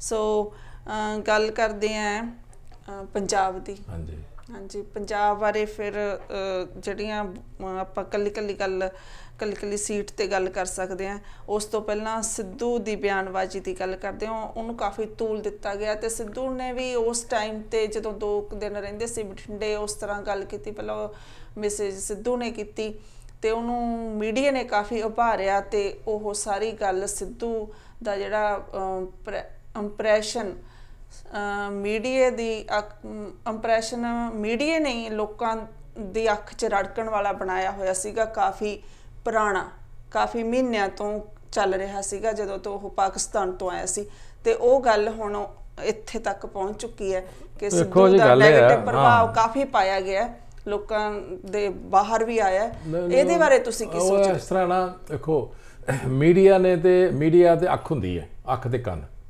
ਤੁਸੀਂ ਕੀ ਬੋਲਦੇ ਜੇ? ਉਹਨੇ ਦੇ ਰੱਖਣਾ ਵੀ ਕੀ ਬੋਲ ਰਿਹਾ ਬੰਦਾ? ਜਾਂ ਉਹਦਾ ਕੰਨ ਖੁੱਲੇ ਰੱਖਦਾ ਤੇ ਮੀਡੀਆ ਅੱਖਾਂ ਖੁੱਲੀਆਂ ਰੱਖਦੇ ਚਾਹੇ ਉਹ ਪੋਜ਼ਿਟਿਵ ਮੀਡੀਆ, ਚਾਹੇ ਨੈਗੇਟਿਵ ਮੀਡੀਆ ਉਹਦੇ ਫਿਰਦੇ ਇਸ ਝਾਕ ਦੇ ਵਿੱਚ ਵੀ ਕੋਈ ਨਾ ਕੋਈ ਸਾਨੂੰ ਖਬਰ ਲੱਭੇ। ਉਹਨਾਂ ਖਬਰਾਂ ਲਾਉਣੀਆਂ ਹੁੰਦੀਆਂ ਲੇਕਿਨ ਇਹ ਦੂਜੀ, ਜਿੱਥੋਂ ਤੱਕ ਸਿੱਧੂ ਸਾਹਿਬ ਦੀ ਗੱਲ ਆ, ਇਹ ਚ ਕੋਈ ਸ਼ੱਕ ਨਹੀਂਗਾ ਕਿ ਸਿੱਧੂ ਸਾਹਿਬ ਬਹੁਤ ਇਮਾਨਦਾਰ ਆਦਮੀ ਹੈ ਔਰ ਸਿੱਖਾਂ ਦਾ ਇਸ ਲੀਡਰ ਅਸਟੇਬਲਿਸ਼ ਹੋ ਚੁੱਕਾ। ਪੰਜਾਬੀਆਂ ਦਾ ਲੀਡਰ ਅਸਟੇਬਲਿਸ਼ ਹੋ ਚੁੱਕਾ। ਲੇਕਿਨ ਥੋੜ੍ਹੇ ਜਿਹੇ ਨੁਕਸ ਵੀ ਹੈਗੇ ਆ ਸਿੱਧੂ ਸਾਹਿਬ 'ਚ ਵੀ ਲੋੜ ਤੋਂ ਵੱਧ ਉਹ ਬੋਲ ਜਾਂਦੇ ਕਿ ਨਾ ਸੋਚ ਕੇ ਨਹੀਂ ਬੋਲਦੇ। ਜਾਂ ਉਹਨਾਂ ਦੇ ਮਿਸਿਸ ਕਈ ਵਾਰਾਂ ਜ਼ਿਆਦਾ ਬੋਲ ਜਾਂਦੇ ਆ ਬਹੁਤ ਇਮਾਨਦਾਰ ਲੇਡੀ ਹੈ 'ਚ ਕੋਈ ਸ਼ੱਕ ਨਹੀਂਗਾ ਡੈਡੀਕੇਟ ਲੇਡੀ ਹੈ ਲੇਕਿਨ ਸੋਚ ਕੇ ਨਹੀਂ ਗੁੱਸਾ ਜਿਹੜਾ ਹੁੰਦਾ ਨਾ ਪੋਲਿਟਿਕਸ ਵਿੱਚ ਗੁੱਸੇ ਨੂੰ ਦਬਾ ਕੇ ਰੱਖਣਾ ਪੈਂਦਾ ਜਿਹੜੇ ਖਾਸ ਕਰ ਇਹੋ ਜਿਹੇ ਜਿਹੜੇ ਨੈਸ਼ਨਲ ਫਿਗਰ ਬਣ ਜਾਂਦੇ ਇਹਨਾਂ ਨੂੰ ਬੜੇ ਤਰੀਕੇ ਨਾਲ ਬੜੇ ਕਿਉਂਕਿ ਮੀਡੀਆ ਨੇ ਕੰਮ ਖਬਰ ਕਢਾਉਣੀ ਹੁੰਦੀ ਆ ਕੋਈ ਨਾ ਗੱਲ ਕਢਾਉਣੀ ਹੈ ਲੌਬੀਆਂ ਵੀ ਐਸੇ ਹੀ ਕੰਮ ਕਰਦੀਆਂ ਨੇ ਵੀ ਇਹ ਬੰਦੇ ਦੇ ਮਗਰ ਲਾ ਦਿੰਦੀਆਂ ਨੇ। ਜਿਹੜੇ ਪੋਲੀਟੀਕਲ ਪਾਰਟੀਆਂ ਤੁਸੀਂ ਆ ਜਾਂ ਇਹਨਾਂ ਦੇ ਵਿਰੋਧੀ ਹੁੰਦੇ ਆ ਚਾਹੇ ਉਹ ਆਪਣੀ ਪਾਰਟੀ ਜੋ ਗੱਲ ਕਹਾ ਲੈਂਦੇ ਆ। ਦੂਜੀਆਂ ਪਾਰਟੀਆਂ ਉਹ ਨਾ ਮਗਰ ਲਾ ਦਿੰਦੇ ਆ ਵੀ ਇਹਨਾਂ ਨੂੰ ਖਬਰ ਕੱਢੋ ਕਿਸੇ ਤਰੀਕੇ ਨਾਲ ਇਹ ਆਈਡੀਆ ਦਿਓ ਇਹ ਖਬਰ ਕੱਢੋ। ਉਹ ਜਿਹੜੇ ਇਮਚਿਓਰ ਜਿਹੜਾ ਜ਼ਿਆਦਾ ਬੋਲਣ ਵਾਲਾ ਬੰਦਾ ਹੁੰਦਾ ਨਾ ਉਹ ਬੰਦਾ ਕਈ ਨਾ ਗੱਲ ਕਰ ਜਾਂਦਾ। ਸੱਚਾ ਸੁੱਚਾ ਬੰਦਾ ਗੁੱਸੇ 'ਚ ਉਹਨੂੰ ਗੁੱਸਾ ਦਵਾ ਲਓ ਉਹ ਝੱਟ ਗੱਲ ਕਰ ਪਰ ਜਾਏ ਇੰਨੀ ਦੇਰ ਤੋਂ ਹਾਂ, politics ਜਿੱਥੋਂ ਤੱਕ ਤੇ ਸਿੱਧੂ ਸਾਹਿਬ ਮੇਰੇ ਕੋਲ ਮੈਂ ਨਾ ਬਿਆਨ ਦਿੱਤਾ ਵੀ ਮੈਂ ਉੱਥੇ ਉੱਥੇ ਹੀ ਆਉਣਾ ਨਾ ਇਹ ਤੇ ਉਹਨਾਂ 'ਚ ਡਰਾਬੈਕ ਹੈਗਾ ਸਿੱਧੂ ਸਾਹਿਬ ਵੀ ਘੱਟ ਜ਼ਿਆਦਾ ਬੋਲ ਜਾਂਦੇ। ਲੇਕਿਨ ਉਹਨੇ ਬੋਲਿਆ ਕੀ ਵਿਚਾਰੇ ਨੇ? ਉਹਦੀ ਵਾਈਫ ਨੂੰ ਛੱਡੋ। ਉਹਨੇ ਬਠਿੰਡੇ 'ਚ ਕੀ ਕੀਤਾ ਕਿਹਾ ਮਾੜਾ ਤਾਂ ਕੋਈ ਨਹੀਂ ਕਿਹਾ। ਜੇ ਰਾਹੁਲ ਗਾਂਧੀ ਮੋਦੀ ਨੂੰ ਚੌਕੀਦਾਰ ਚੋਰ ਚੋਰ ਕਹਿ ਸਕਦਾ ਸਟੇਜ ਉੱਤੇ ਤੇ ਉਹਨੇ ਤੇ ਇੱਕੋ ਹੀ ਗੱਲ ਕੀਤੀ ਆਪਣੇ ਗੁਰੂ ਦੀ ਗੱਲ ਕੀਤੀ ਹੈ। ਵੀ ਚਾਹੇ ਗੁਰੂ ਜਿਹੜਾ ਸਾਡੇ ਗੁਰੂ ਗ੍ਰੰਥ ਸਾਹਿਬ ਸਾਡਾ ਗੁਰੂ ਹੈ ਸਾਡਾ ਬਾਪ ਹੈ। ਅਸੀਂ ਅਗਰ ਆਪਣੇ ਬਾਪ ਦੀ ਇੱਜ਼ਤ ਨਹੀਂ ਰੱਖ ਸਕਦੇ। ਸਾਡੀ ਮਾਂ ਨੇ ਕਿਹਾ ਸੁਪਨੇ ਜਿਸ ਤਰ੍ਹਾਂ ਨੇ ਕਿਹਾ ਮੈਨੂੰ ਸੁਪਨਾ ਆਇਆ ਵੀ ਤੂੰ ਝੋਲੀਆਂ ਝਾਲੀਆਂ ਟੱਡਰੀਆਂ ਬੰਦ ਕਰ ਦੇ। ਤੂੰ ਅਗਰ ਆਪਣੇ ਬਾਪ ਦੀ ਇੱਜ਼ਤ ਨਹੀਂ ਕਰ ਸਕਦਾ ਤੇ ਤੇਰਾ ਕੋਈ ਕੰਮ ਸਿਆਸਤ ਕਰਨ ਦਾ ਨਹੀਂਗਾ ਜੇ ਅਸੀਂ ਆਪਣੇ ਪੁਰਖਿਆਂ ਦੀ, ਆਪਣੇ ਆਈਡੀਓਲੋਜੀ ਦੀ ਨਹੀਂ ਸੇਵ ਕਰ ਸਕਦੇ, ਤੇ ਫਿਰ ਸਾਡਾ ਕੰਮ ਜਿਹੜਾ ਸੱਚਾ ਸੁੱਚਾ ਬੰਦਾ, ਜਿਹੜਾ ਲੋਕਾਂ ਦੇ ਨਾਲ ਜੁੜਿਆ, ਜਿਹੜਾ ਆਈਡੀਓਲੋਜੀ ਨਾਲ ਜੁੜਿਆ, ਤੇ ਉਹਦਾ ਕੋਈ ਕੰਮ ਨਹੀਂ ਪੋਲਿਟਿਕਸ ਕਰਨਾ, ਜਾਂ ਫਿਰ ਉਹ ਲੜਨਾ, ਉਹਦਾ ਕਿਸੇ ਥਾਂ ਤੇ ਵੀ ਹੈਗਾ, ਉਹਦਾ ਕੰਮ ਹੈ ਲੜਨਾ। ਸਿੱਧੂ ਸਾਹਿਬ ਨੇ ਬਿਆਨ ਦਿੱਤਾ ਵੀ ਜਿਹੜਾ ਬੰਦਾ ਜੇ ਨਿਆਂ ਨਹੀਂ ਮਿਲੇਗਾ ਅਸੀਂ ਨਿਆਂ ਨਹੀਂ ਦੇ ਸਕਾਂਗੇ ਗੁਰੂ ਗ੍ਰੰਥ ਸਾਹਿਬ ਦੀ ਬੇਅਦਬੀ ਦੀ ਕਰਨ ਵਾਲੇ ਬੰਦਿਆਂ ਨੂੰ ਤੇ ਮੈਂ ਸਿਆਸਤ ਛੱਡ ਦਾਂਗਾ ਹਾਂਜੀ? ਜਾਂ ਇਹੋ ਹੀ ਗੱਲ ਕੀਤੀ ਉਹਨਾਂ। ਇੱਥੇ ਕੋਈ ਮਾੜੀ ਨਹੀਂ ਕੀਤੀ। ਇਹ ਭਾਵਨਾਵਾਂ ਭਾਰਨ ਦੀ ਗੱਲ ਵੀ ਹੁੰਦੀ ਹੈ। ਨਹੀਂ ਨਹੀਂ ਭਾਵਨਾ ਭਾਰਨ ਦੀ ਵੀ ਗੱਲ ਹੁੰਦੀ ਹੈ ਵੀ ਗੱਲ ਤੇ ਹੋਈ ਸੀ ਪੰਜਾਬ ਦੇ ਵਿੱਚ ਬੇਅਦਬੀ ਤੇ ਹੋਈ ਹੈ। ਉਹਨੇ ਕੋਈ ਗੱਲ ਕਾਂਗਰਸ ਪਾਰਟੀ ਕਹਿੰਦੀ ਹੈ ਕਿ ਜਿਹੜੀ ਅਸੀਂ ਕਾਂਗਰਸ ਕਾਂਗਰਸ ਜਿਹੜੀ ਹੈ ਵੇਖੋ ਮਾਫ ਕਰਨਾ। ਦੋਵਾਂ ਦਿਨਾਂ ਹੀ ਲੋਕਾਂ ਦਾ ਮਾਈਂਡ ਚੇਂਜ ਹੋ ਗਿਆ। ਇੱਕ ਦਿਨ ਚ ਮਾਈਂਡ ਚੇਂਜ ਹੋ ਗਿਆ ਵੀ ਲੋਕਾਂ ਨੇ ਸਿੱਧੂ ਦੀ ਬਿਆਨ ਦੇ ਲੱਗੇ, ਲੋਕਾਂ ਸੀਟ ਹਾਰ ਗਈ। ਇਹ ਤੇ ਕੈਪਟਨ ਸਾਹਿਬ ਦੀ ਬਿਲਕੁਲ ਅਸਲੀ ਉਹ ਆਪਣੀ ਜ਼ਿੰਮੇਵਾਰੀ ਆ, ਉਹ ਸਿੱਧੂ ਸਾਹਿਬ ਤੇ ਪਾਉਣਾ ਚਾਹੁੰਦੇ ਆ ਵੀ ਇਹ ਆਪਣੇ ਆਪ ਨੂੰ ਸੈਲਫ ਪੜਤੋਲ ਪੜਤਾਲ ਕਰਨ ਵੀ ਸਿੱਧੂ ਦਾ ਕੀ ਕਸੂਰ ਹੈ। ਇਸ ਤੋਂ ਵੱਧ ਕਈ ਬਿਆਨ ਲੀਡਰਾਂ ਦੇ ਆਏ ਨੇ। ਔਰ ਸੈਂਟਰ ਜਿਹੜੀ ਉਹਨਾਂ ਦੀ ਮੈਸੇਜ ਨੇ ਬਿਆਨ ਦਿੱਤਾ ਨਾ ਉਹਦੇ ਕਰਕੇ ਵੀ ਉਹ ਕਹਿੰਦੇ ਵੀ ਸਾਡਾ ਆਪਸ ਨਹੀਂ ਉਹ ਤੇ ਐਵੇਂ ਬਹਾਨੇਬਾਜ਼ੀਆਂ ਹੁੰਦੀਆਂ ਨੇ ਪਾਰਟੀ ਚ ਪਾਰਟੀ ਡਿਸਪਲਿਨ ਪਾਰਟੀ ਦੇ ਹੈ ਨਹੀਂ। ਕਈ ਤਰ੍ਹਾਂ ਦੇ ਬਿਆਨ ਆਉਂਦੇ ਨੇ। ਕੈਪਟਨ ਸਾਹਿਬ ਜਦੋਂ ਆਉਂਦਾ ਸੀ ਬਾਜਵਾ ਸਾਹਿਬ ਪ੍ਰਧਾਨ ਸੀ ਕਾਂਗਰਸ ਦਾ ਉਦੋਂ ਕੈਪਟਨ ਸਾਹਿਬ ਕਿੰਨੇ ਬਿਆਨ ਦਿੰਦੇ ਨੇ ਜਿਵੇਂ ਕਿ ਪਾਰਟੀ ਡਿਫਾਲਟ ਕਰਨ ਚ ਆ ਗਏ ਸੀ ਅੜੇ ਖਲੋ ਕੇ ਲੋਗੇ ਸੀ। ਔਰ ਰਾਹੁਲ ਗਾਂਧੀ ਨੂੰ ਥ੍ਰੈਟ ਕਰ ਰਹੇ ਸੀ ਵੀ ਮੈਂ ਇਹਨੇ ਤੇ ਚੱਲ ਚੱਲਿਆ। ਤੇ ਉਹ ਸਿਆਣਾ ਸੀ ਉਹਨੇ ਵੇਖਿਆ। ਹੁਣ ਕੀ ਹੈ ਇਹ ਬਿਆਨਬਾਜ਼ੀਆਂ ਜਿਹੜੀਆਂ ਜ਼ਿਆਦੀਆਂ ਹੋ ਰਹੀਆਂ ਨਾ ਇਹ ਸਿਆਸਤ ਹੈ ਸਿਆਸਤ ਇਸ ਕਰਕੇ ਆ ਵੀ ਰਾਹੁਲ ਗਾਂਧੀ ਕਮਜ਼ੋਰ ਹੋ ਗਿਆ, ਹਾਰ ਗਿਆ। ਪਾਰਟੀ ਨੂੰ ਜਿਆਦੀ ਮੈਜੋਰਟੀ ਨਹੀਂ ਆਈ। ਇਸ ਕਰਕੇ ਵੀ ਰਾਹੁਲ ਗਾਂਧੀ ਫਸ ਗਿਆ। ਲੇਕਿਨ ਨਹੀਂ, ਅਗਰ ਸਿੱਧੂ ਜਾਏਗਾ ਤੇ ਬੜੀ ਵੱਡੀਆਂ ਕਈ ਜਿਸ ਤਰ੍ਹਾਂ ਇਹਨਾਂ ਨੇ ਬਿਆਨ ਦਿੱਤੇ ਨੇ ਕਿ ਵੀ ਜਿਹੜੇ ਜਿਨ੍ਹਾਂ ਮੰਤਰੀਆਂ ਨੇ, ਸਾਹਮਣੇ ਕੈਪਟਨ ਸਾਹਿਬ ਨੂੰ ਇਹ ਨਹੀਂ ਦੱਸਦਾ। ਉਹਨਾਂ ਦਾ ਗਵਾਇਆ ਸਾਹਿਬ ਦਾ ਬਿਆਨ ਆਇਆ ਵੀ ਉਹ ਗੁਰਜੀਤ ਸਿੰਘ ਜਿਹੜਾ ਸੋਢੀ ਸੀ, ਉਹਨੇ ਮੇਰੀ ਵਿਰੋਧਤਾ ਕੀਤੀ ਹੈ। ਕਈ ਐਮਐਲਏ ਨੇ ਮੇਰੀ ਵਿਰੋਧਤਾ ਕੀਤੀ ਹੈ। ਉਹ ਗੁਰਦਾਸਪੁਰ 'ਚ ਨਹੀਂ ਦੇਖਦਾ ਕਿ ਜਿਹੜੇ ਐਮਐਲਏ ਦੇ ਜਾਂ ਮਿਨਿਸਟਰ ਮੰਤਰੀਆਂ ਦੇ ਹਰੇ ਹਰੇ ਆ। ਜਿਹੜੇ ਕਾਂਗਰਸ ਦੇ ਜਿਹੜੇ ਪ੍ਰਧਾਨ ਹੀ ਉਹਨਾਂ ਹਰ ਗਿਆ। ਤੇ ਇਹਨਾਂ 'ਚ ਅਗਰ ਇਹ ਜਾਊਗਾ ਤਾਂ ਫਿਰ ਸੁਨੀਲ ਝਾਖੜ ਵੀ ਜਾਏਗਾ। ਮਨਪ੍ਰੀਤ ਬਾਦਲ ਵੀ ਜਾਏਗਾ, ਕਿਉਂਕਿ ਉਹਦੇ, ਉਹਦੀ ਕਨਸਟੀਚੁਐਂਸੀ ਜੋ ਹਰਿਆ ਹਰੀ ਹੈ ਰਾਣਾ, ਰਾਜਾ ਹਰਿਆ ਰਿਹਾ, ਉਹ ਜਿੱਤੀ ਆ। ਆਪਣੀ ਕੀ ਹਰਸਿਮਰਤ ਕੌਰ ਜਿੱਤੀ ਹੈ, ਉਹ ਵੀ ਜਾਏਗਾ। ਇਸ ਤਰ੍ਹਾਂ ਇਹ ਤੇ ਬੜਾ ਵੱਡਾ ਰਲਾ ਗਬਲਾ ਹੋ ਜਾਏਗਾ। ਇਹ ਤਰੀਕਾ ਇਹੀ ਹੈ ਵੀ ਜਦੋਂ ਬੰਦਾ ਕਮਜ਼ੋਰ ਪੈ ਜਾਓ ਜਾਂ ਪਾਰਟੀ ਇਹੋ ਜੀ ਕਮਜ਼ੋਰ ਵਿਕਟਾਂ ਤੇ ਆ ਜਾਵੇ, ਤੇ ਇਹਨਾਂ ਨੂੰ ਰਾਣਾ ਕੈਪਟਨ ਅਮਰਿੰਦਰ ਸਿੰਘ ਨੂੰ, ਜੋ ਕਿਉਂਕਿ ਇਹਨਾਂ ਦੀ ਆਖਰੀ ਹੈਗੀ ਹੈ, ਇਨਿੰਗ ਸਾਰੀ ਦਰ 2 ਸਾਲ 2.5 ਸਾਲ ਰਹਿ ਗਏ ਆ ਇਹਨਾਂ ਨੂੰ ਸਿਆਣਪ ਇਹੀ ਕਰਨੀ ਚਾਹੀਦੀ ਹੈ ਵੀ ਇਹ ਜਿਹੜੇ ਆ, ਅੱਗੇ ਜਗਮੀਤ ਬਰਾੜ ਵਰਗੇ ਬੰਦੇ ਸਿਆਸੀ ਤੌਰ ਤੇ ਇਹਨਾਂ ਨੇ ਗਵਾਲੇ ਆਪਣੇ ਹੱਥੋਂ ਔਰ ਮ- ਖਤਮ ਕਰਤੇ ਸਿਆਸੀ ਤੌਰ ਤੇ। ਇਦਾਂ ਅਗਰ ਇਹ ਸਿਆਸੀ ਬੰਦਿਆਂ ਦਾ, ਸੱਚੇ ਸੁੱਚੇ ਬੰਦਿਆਂ ਦਾ ਸਿਆਸਤ ਔਰ ਸਿਆਸੀ ਕੈਰੀ ਖਤਮ ਕਰਨ ਦੀ ਕੋਸ਼ਿਸ਼ ਕਰਨਗੇ ਤਾਂ ਪੰਜਾਬ ਦਾ ਬਹੁਤ ਵੱਡਾ ਨੁਕਸਾਨ ਹੋਏਗਾ। ਕਿਉਂਕਿ ਬੇਈਮਾਨਾਂ ਦਾ ਤੇ ਬੋਲਬਾਲਾ ਹੈਗਾ ਹੀ ਹੈ। ਲੇਕਿਨ ਇਹੋ ਜਿਹੇ ਲੀਡਰ ਮੈਂ ਸਮਝਦਾ ਵੀ ਸ਼ਾਇਦ ਕਾਂਗਰਸ ਹਾਈ ਕਮਾਂਡ ਜਿਹੜੀ ਹੈ ਛੇਤੀ ਕਿਤੇ ਸਿੱਧੂ ਨੂੰ ਉਹ ਜਾਨ ਨਹੀਂ ਦੇਗੀ ਉਹਨੂੰ ਇਹ ਐਕਸ਼ਨ ਨਹੀਂ ਲੈਂਦੇ ਕਿਉਂਕਿ ਹਾਈ ਕਮਾਂਡ ਨੇ ਐਕਸ਼ਨ ਲੈਣਾ। ਉਹਦੇ ਕਿਉਂਕਿ ਸਿੱਧੂ ਨੂੰ ਹਾਈ ਕਮਾਂਡ ਹੀ ਲੈ ਕੇ ਆਈ ਸੀ। ਤੇ ਇਹ ਜਿੰਨਾ ਮਰਜ਼ੀ ਜ਼ੋਰ ਲਾ ਲੈਣ ਇਹਨਾਂ ਨੂੰ ਸਿਆਣਪ ਤੇ ਇਹੀ ਹੈ ਵੀ ਕੈਪਟਨ ਸਾਹਿਬ ਨੂੰ ਕਿ ਤਿੰਨ ਸਾਲ ਦਾ ਲਾਲਚ ਢਾਈ ਸਾਲ ਦਾ ਹੈਗਾ ਸਾਰਾ ਸਮਾਂ ਤੇ ਆਪਣੇ ਤਰੀਕੇ ਦੇ ਨਾਲ ਸਾਰੇ ਬੰਦਿਆਂ ਨੂੰ ਪਿਆਰ ਨਾਲ ਵੱਡੇ ਨੇ। ਉਹਨਾਂ ਨੂੰ ਕੋਆਰਡੀਨੇਸ਼ਨ ਰੱਖ ਕੇ ਰੱਖਣ ਤੇ ਉਹਨਾਂ ਦਾ ਕੰਮ ਲੈਣ ਉਹਨਾਂ ਨੂੰ ਸਮਝਾਉਣ। ਇਦਾਂ ਬਿਆਨਬਾਜ਼ੀ ਕਰਕੇ ਇੱਕ ਦੂਜੇ ਨੂੰ ਕੱਢ ਕੇ ਪਾਰਟੀ ਸਸਪੈਂਡ ਕਰਕੇ ਜਾਂ ਪਾਰਟੀ ਮਿਨਿਸਟਰੀਆਂ ਖੋ ਕੇ ਉਹ ਤੇ ਉਹਦੇ ਮਲੰਗ ਆਦਮੀ ਹੈ ਨਵਜੋਤ ਸਿੱਧੂ। ਉਹਦੇ ਅਸਤੀਫਾ ਵੀ ਦੇ ਦੇਗਾ। ਜੇ ਕੱਢਣਗੇ ਤੇ ਉਹ ਹੀਰੋ ਬਣ ਜਾਣਾ। ਉਹ ਇਸ ਵੇਲੇ ਉਹਨੂੰ ਅਗਰ ਪੋਲੀਟੀਕਲ ਖਤਮ ਕਰਨਾ ਚਾਹਵੇ ਸ- ਕੈਪਟਨ ਅਮਰਿੰਦਰ ਸਿੰਘ ਜਾਂ ਕਾਂਗਰਸ ਤਾਂ ਉਹ ਖਤਮ ਨਹੀਂ ਕਰ ਸਕਦੀ ਕੈਪਟਨ ਨੂੰ ਨਵਜੋਤ ਸਿੰਘ ਸਿੱਧੂ ਨੂੰ ਉਹ ਹੋਰ ਉੱਭਰ ਕੇ ਅਹ, ਬਾਹਰ ਆਏਗਾ ਪੰਜਾਬ ਦੀ ਸਿਆਸਤ ਵਿੱਚ ਉਹ ਪੰਜਾਬ ਦਾ ਲੀਡਰ ਬਣ ਪੰਜਾਬ ਚੁੱਕਾ ਦੀ ਸਿਆਸਤ 'ਚ ਕੁਝ ਵੀ ਸੰਭਵ ਹੈ ਜੀ ਦੇਖੋ ਆਮ ਬੰਦੇ ਦੀ رائے ਸੀਗੀ ਆਮ ਦੀ ਵਿਰੋਧੀਆਂ ਦੀ ਵੀ ਇਵਨ ਕਿ رائے ਸੀਗੀ ਕਿ ਜ- ਕਾਂਗਰਸ ਦਾ ਪ੍ਰਧਾਨ ਜਿਹੜੇ ਜਾਖੜ ਸਾਹਿਬ ਹੈ ਬਹੁਤ ਹੀ ਜੈਨੂਨ ਬੰਦੇ ਨੇ ਬਹੁਤ ਕੰਮ ਕੀਤਾ ਹੈ ਬੜੇ ਲੋਕਾਂ ਨਾਲ ਜੁੜੇ ਹੋਏ ਆ ਹਨਾ ਆਪਾਂ ਕਹਿੰਦੇ ਆ ਇਮਾਨਦਾਰ ਕੰਮ ਵੀ ਕੀਤਾ ਹੋਇਆ ਗਰਾਊਂਡ ਲੈਵਲ ਤੇ ਤੇ ਇੰਨੇ ਪੁਰਾਣੇ ਹਨਾ? ਤੇ ਉਹ ਵਿਰੋਧੀ ਵੀ ਨੂੰ ਵੀ ਇਹੀ ਸੀਗਾ ਕਿ ਜਾਖੜ ਸਾਹਿਬ ਜਿੱਤਣਗੇ ਹਨਾ। ਪਰ ਉੱਥੇ ਕਿਵੇਂ ਹੋਇਆ ਕੀ ਹੋਇਆ? ਉਹਦੇ ਬਾਰੇ ਤੁਸੀਂ ਕੀ ਸੋਚਦੇ ਹੋ? ਫਿਰ ਇੱਥੇ ਵੀ ਕੋਈ ਘਪਲਾ ਹੋਇਆ ਜਾਂ ਈਵੀਐਮ ਦੀ ਇੱਥੇ ਸ਼ੱਕ ਇੱਥੇ ਹੋਰ ਜ਼ਾਹਰ ਹੁੰਦਾ ਇਹੋ ਜਿਹੀਆਂ ਗੱਲਾਂ ਤੋਂ? ਕਿ ਸਨੀ ਦਿਓਲ ਜਿੱਤ ਗਿਆ ਉੱਥੇ ਜੀ ਤੇ ਜਦੋਂ ਕਿ ਉਹਨਾਂ ਨੇ ਕੋਈ ਗੱਲ ਹੀ ਨਹੀਂ ਕੀਤੀ ਕੋਈ ਬਿਆਨ ਨਹੀਂ ਦਿੱਤਾ ਕੋਈ ਉਹ ਆਪ ਕਹਿ ਰਹੇ ਸੀ ਕਿ ਮੈਨੂੰ ਇੱਥੋਂ ਦਾ ਹਜੇ ਕੁਝ ਨਹੀਂ ਪਤਾ। ਤੇ ਮੈਂ ਜਿੱਤੂੰਗਾ ਤੇ ਉਸ ਤੋਂ ਬਾਅਦ ਮੈਂ ਦੇਖੂੰਗਾ ਕਿ ਕੀ ਕਰਨਾ ਹੈ ਕਿਵੇਂ ਲੋਕਾਂ ਦੀਆਂ ਸਮੱਸਿਆਵਾਂ ਪੁੱਛਣੀਆਂ ਨੇ ਜਾਣਨੀਆਂ ਨੇ ਹਜੇ ਹਨਾ? ਤੇ ਇਹਦੇ ਬਾਰੇ ਤੁਸੀਂ ਕੀ ਸੋਚਦੇ? ਗੱਲ ਹੈ ਜੀ ਆਪਾਂ ਪਹਿਲਾਂ ਵੀ ਡਿਸਕਸ ਕਰ ਚੁੱਕੇ ਹਾਂ ਪਹਿਲੀਆਂ ਕਿਸ਼ਤਾਂ 'ਚ ਵੀ ਜਿਹੜੇ ਅਸੀਂ ਮੈਂਬਰ ਪਾਰਲੀਮੈਂਟ ਜਾਂ ਲੋਕਾਂ ਦੇ ਨੁਮਾਇੰਦੇ ਚੁਣ ਕੇ ਭੇਜਦੇ ਆ ਐਮਐਲਏਸ ਵਗੈਰਾ ਇਹ ਅਸਲੀ ਲੋਕਾਂ ਦੇ ਨੁਮਾਇੰਦੇ ਤੇ ਹੈ ਨਹੀਂ। ਇਹਦੇ ਹੈਗੇ ਪੋਲੀਟੀਕਲ ਪਾਰਟੀਆਂ ਦੇ ਬੰਦੇ। ਇਹ ਪੋਲੀਟੀਕਲ ਪਾਰਟੀਆਂ ਵਹਿੰਦੀਆਂ ਨੇ ਵੀ ਕਿ ਲੋਕਾਂ ਦੇ ਇਮੋਸ਼ਨਸ ਨੂੰ ਕਿਦਾਂ ਐਕਸਪੈਕਟ ਕੀਤਾ ਜਾਵੇ ਸ਼ੋਸ਼ਣ ਕਿਦਾਂ ਜਾਵੇ। ਲੋਕਾਂ 'ਚ ਮੈਂ ਤਾਂ ਸਮਝਦਾ ਜਾਗਰਤੀ ਆ ਜਾਣੀ ਚਾਹੀਦੀ ਸੀ ਲੇਕਿਨ ਜੈ ਇਹਨਾਂ ਇਲੈਕਸ਼ਨਾਂ ਨੂੰ ਵੇਖ ਕੇ ਮਨ ਪਰੇਸ਼ਾਨ ਵੀ ਹੋਇਆ ਤੇ ਮਨ ਟੁੱਟਿਆ ਵੀ ਹੈ ਕਿ ਕਿ ਇਹ ਲੋਕ ਕਿਉਂਕਿ ਸਫਰ ਵੀ ਤਾਂ ਹੀ ਹੋ ਰਹੇ ਨੇ ਹਿੰਦੁਸਤਾਨ ਦੇ ਲੋਕ ਪੰਜਾਬ ਦੇ ਲੋਕ ਹਿੰਦੁਸਤਾਨ ਦੇ ਲੋਕ ਦਾ ਹਾਲਤ ਇਸੇ ਕਰਕੇ ਹੀ ਹੈ ਵੀ ਇਹ ਪਿਛਲਗੂ ਬਣ ਗਏ ਆ।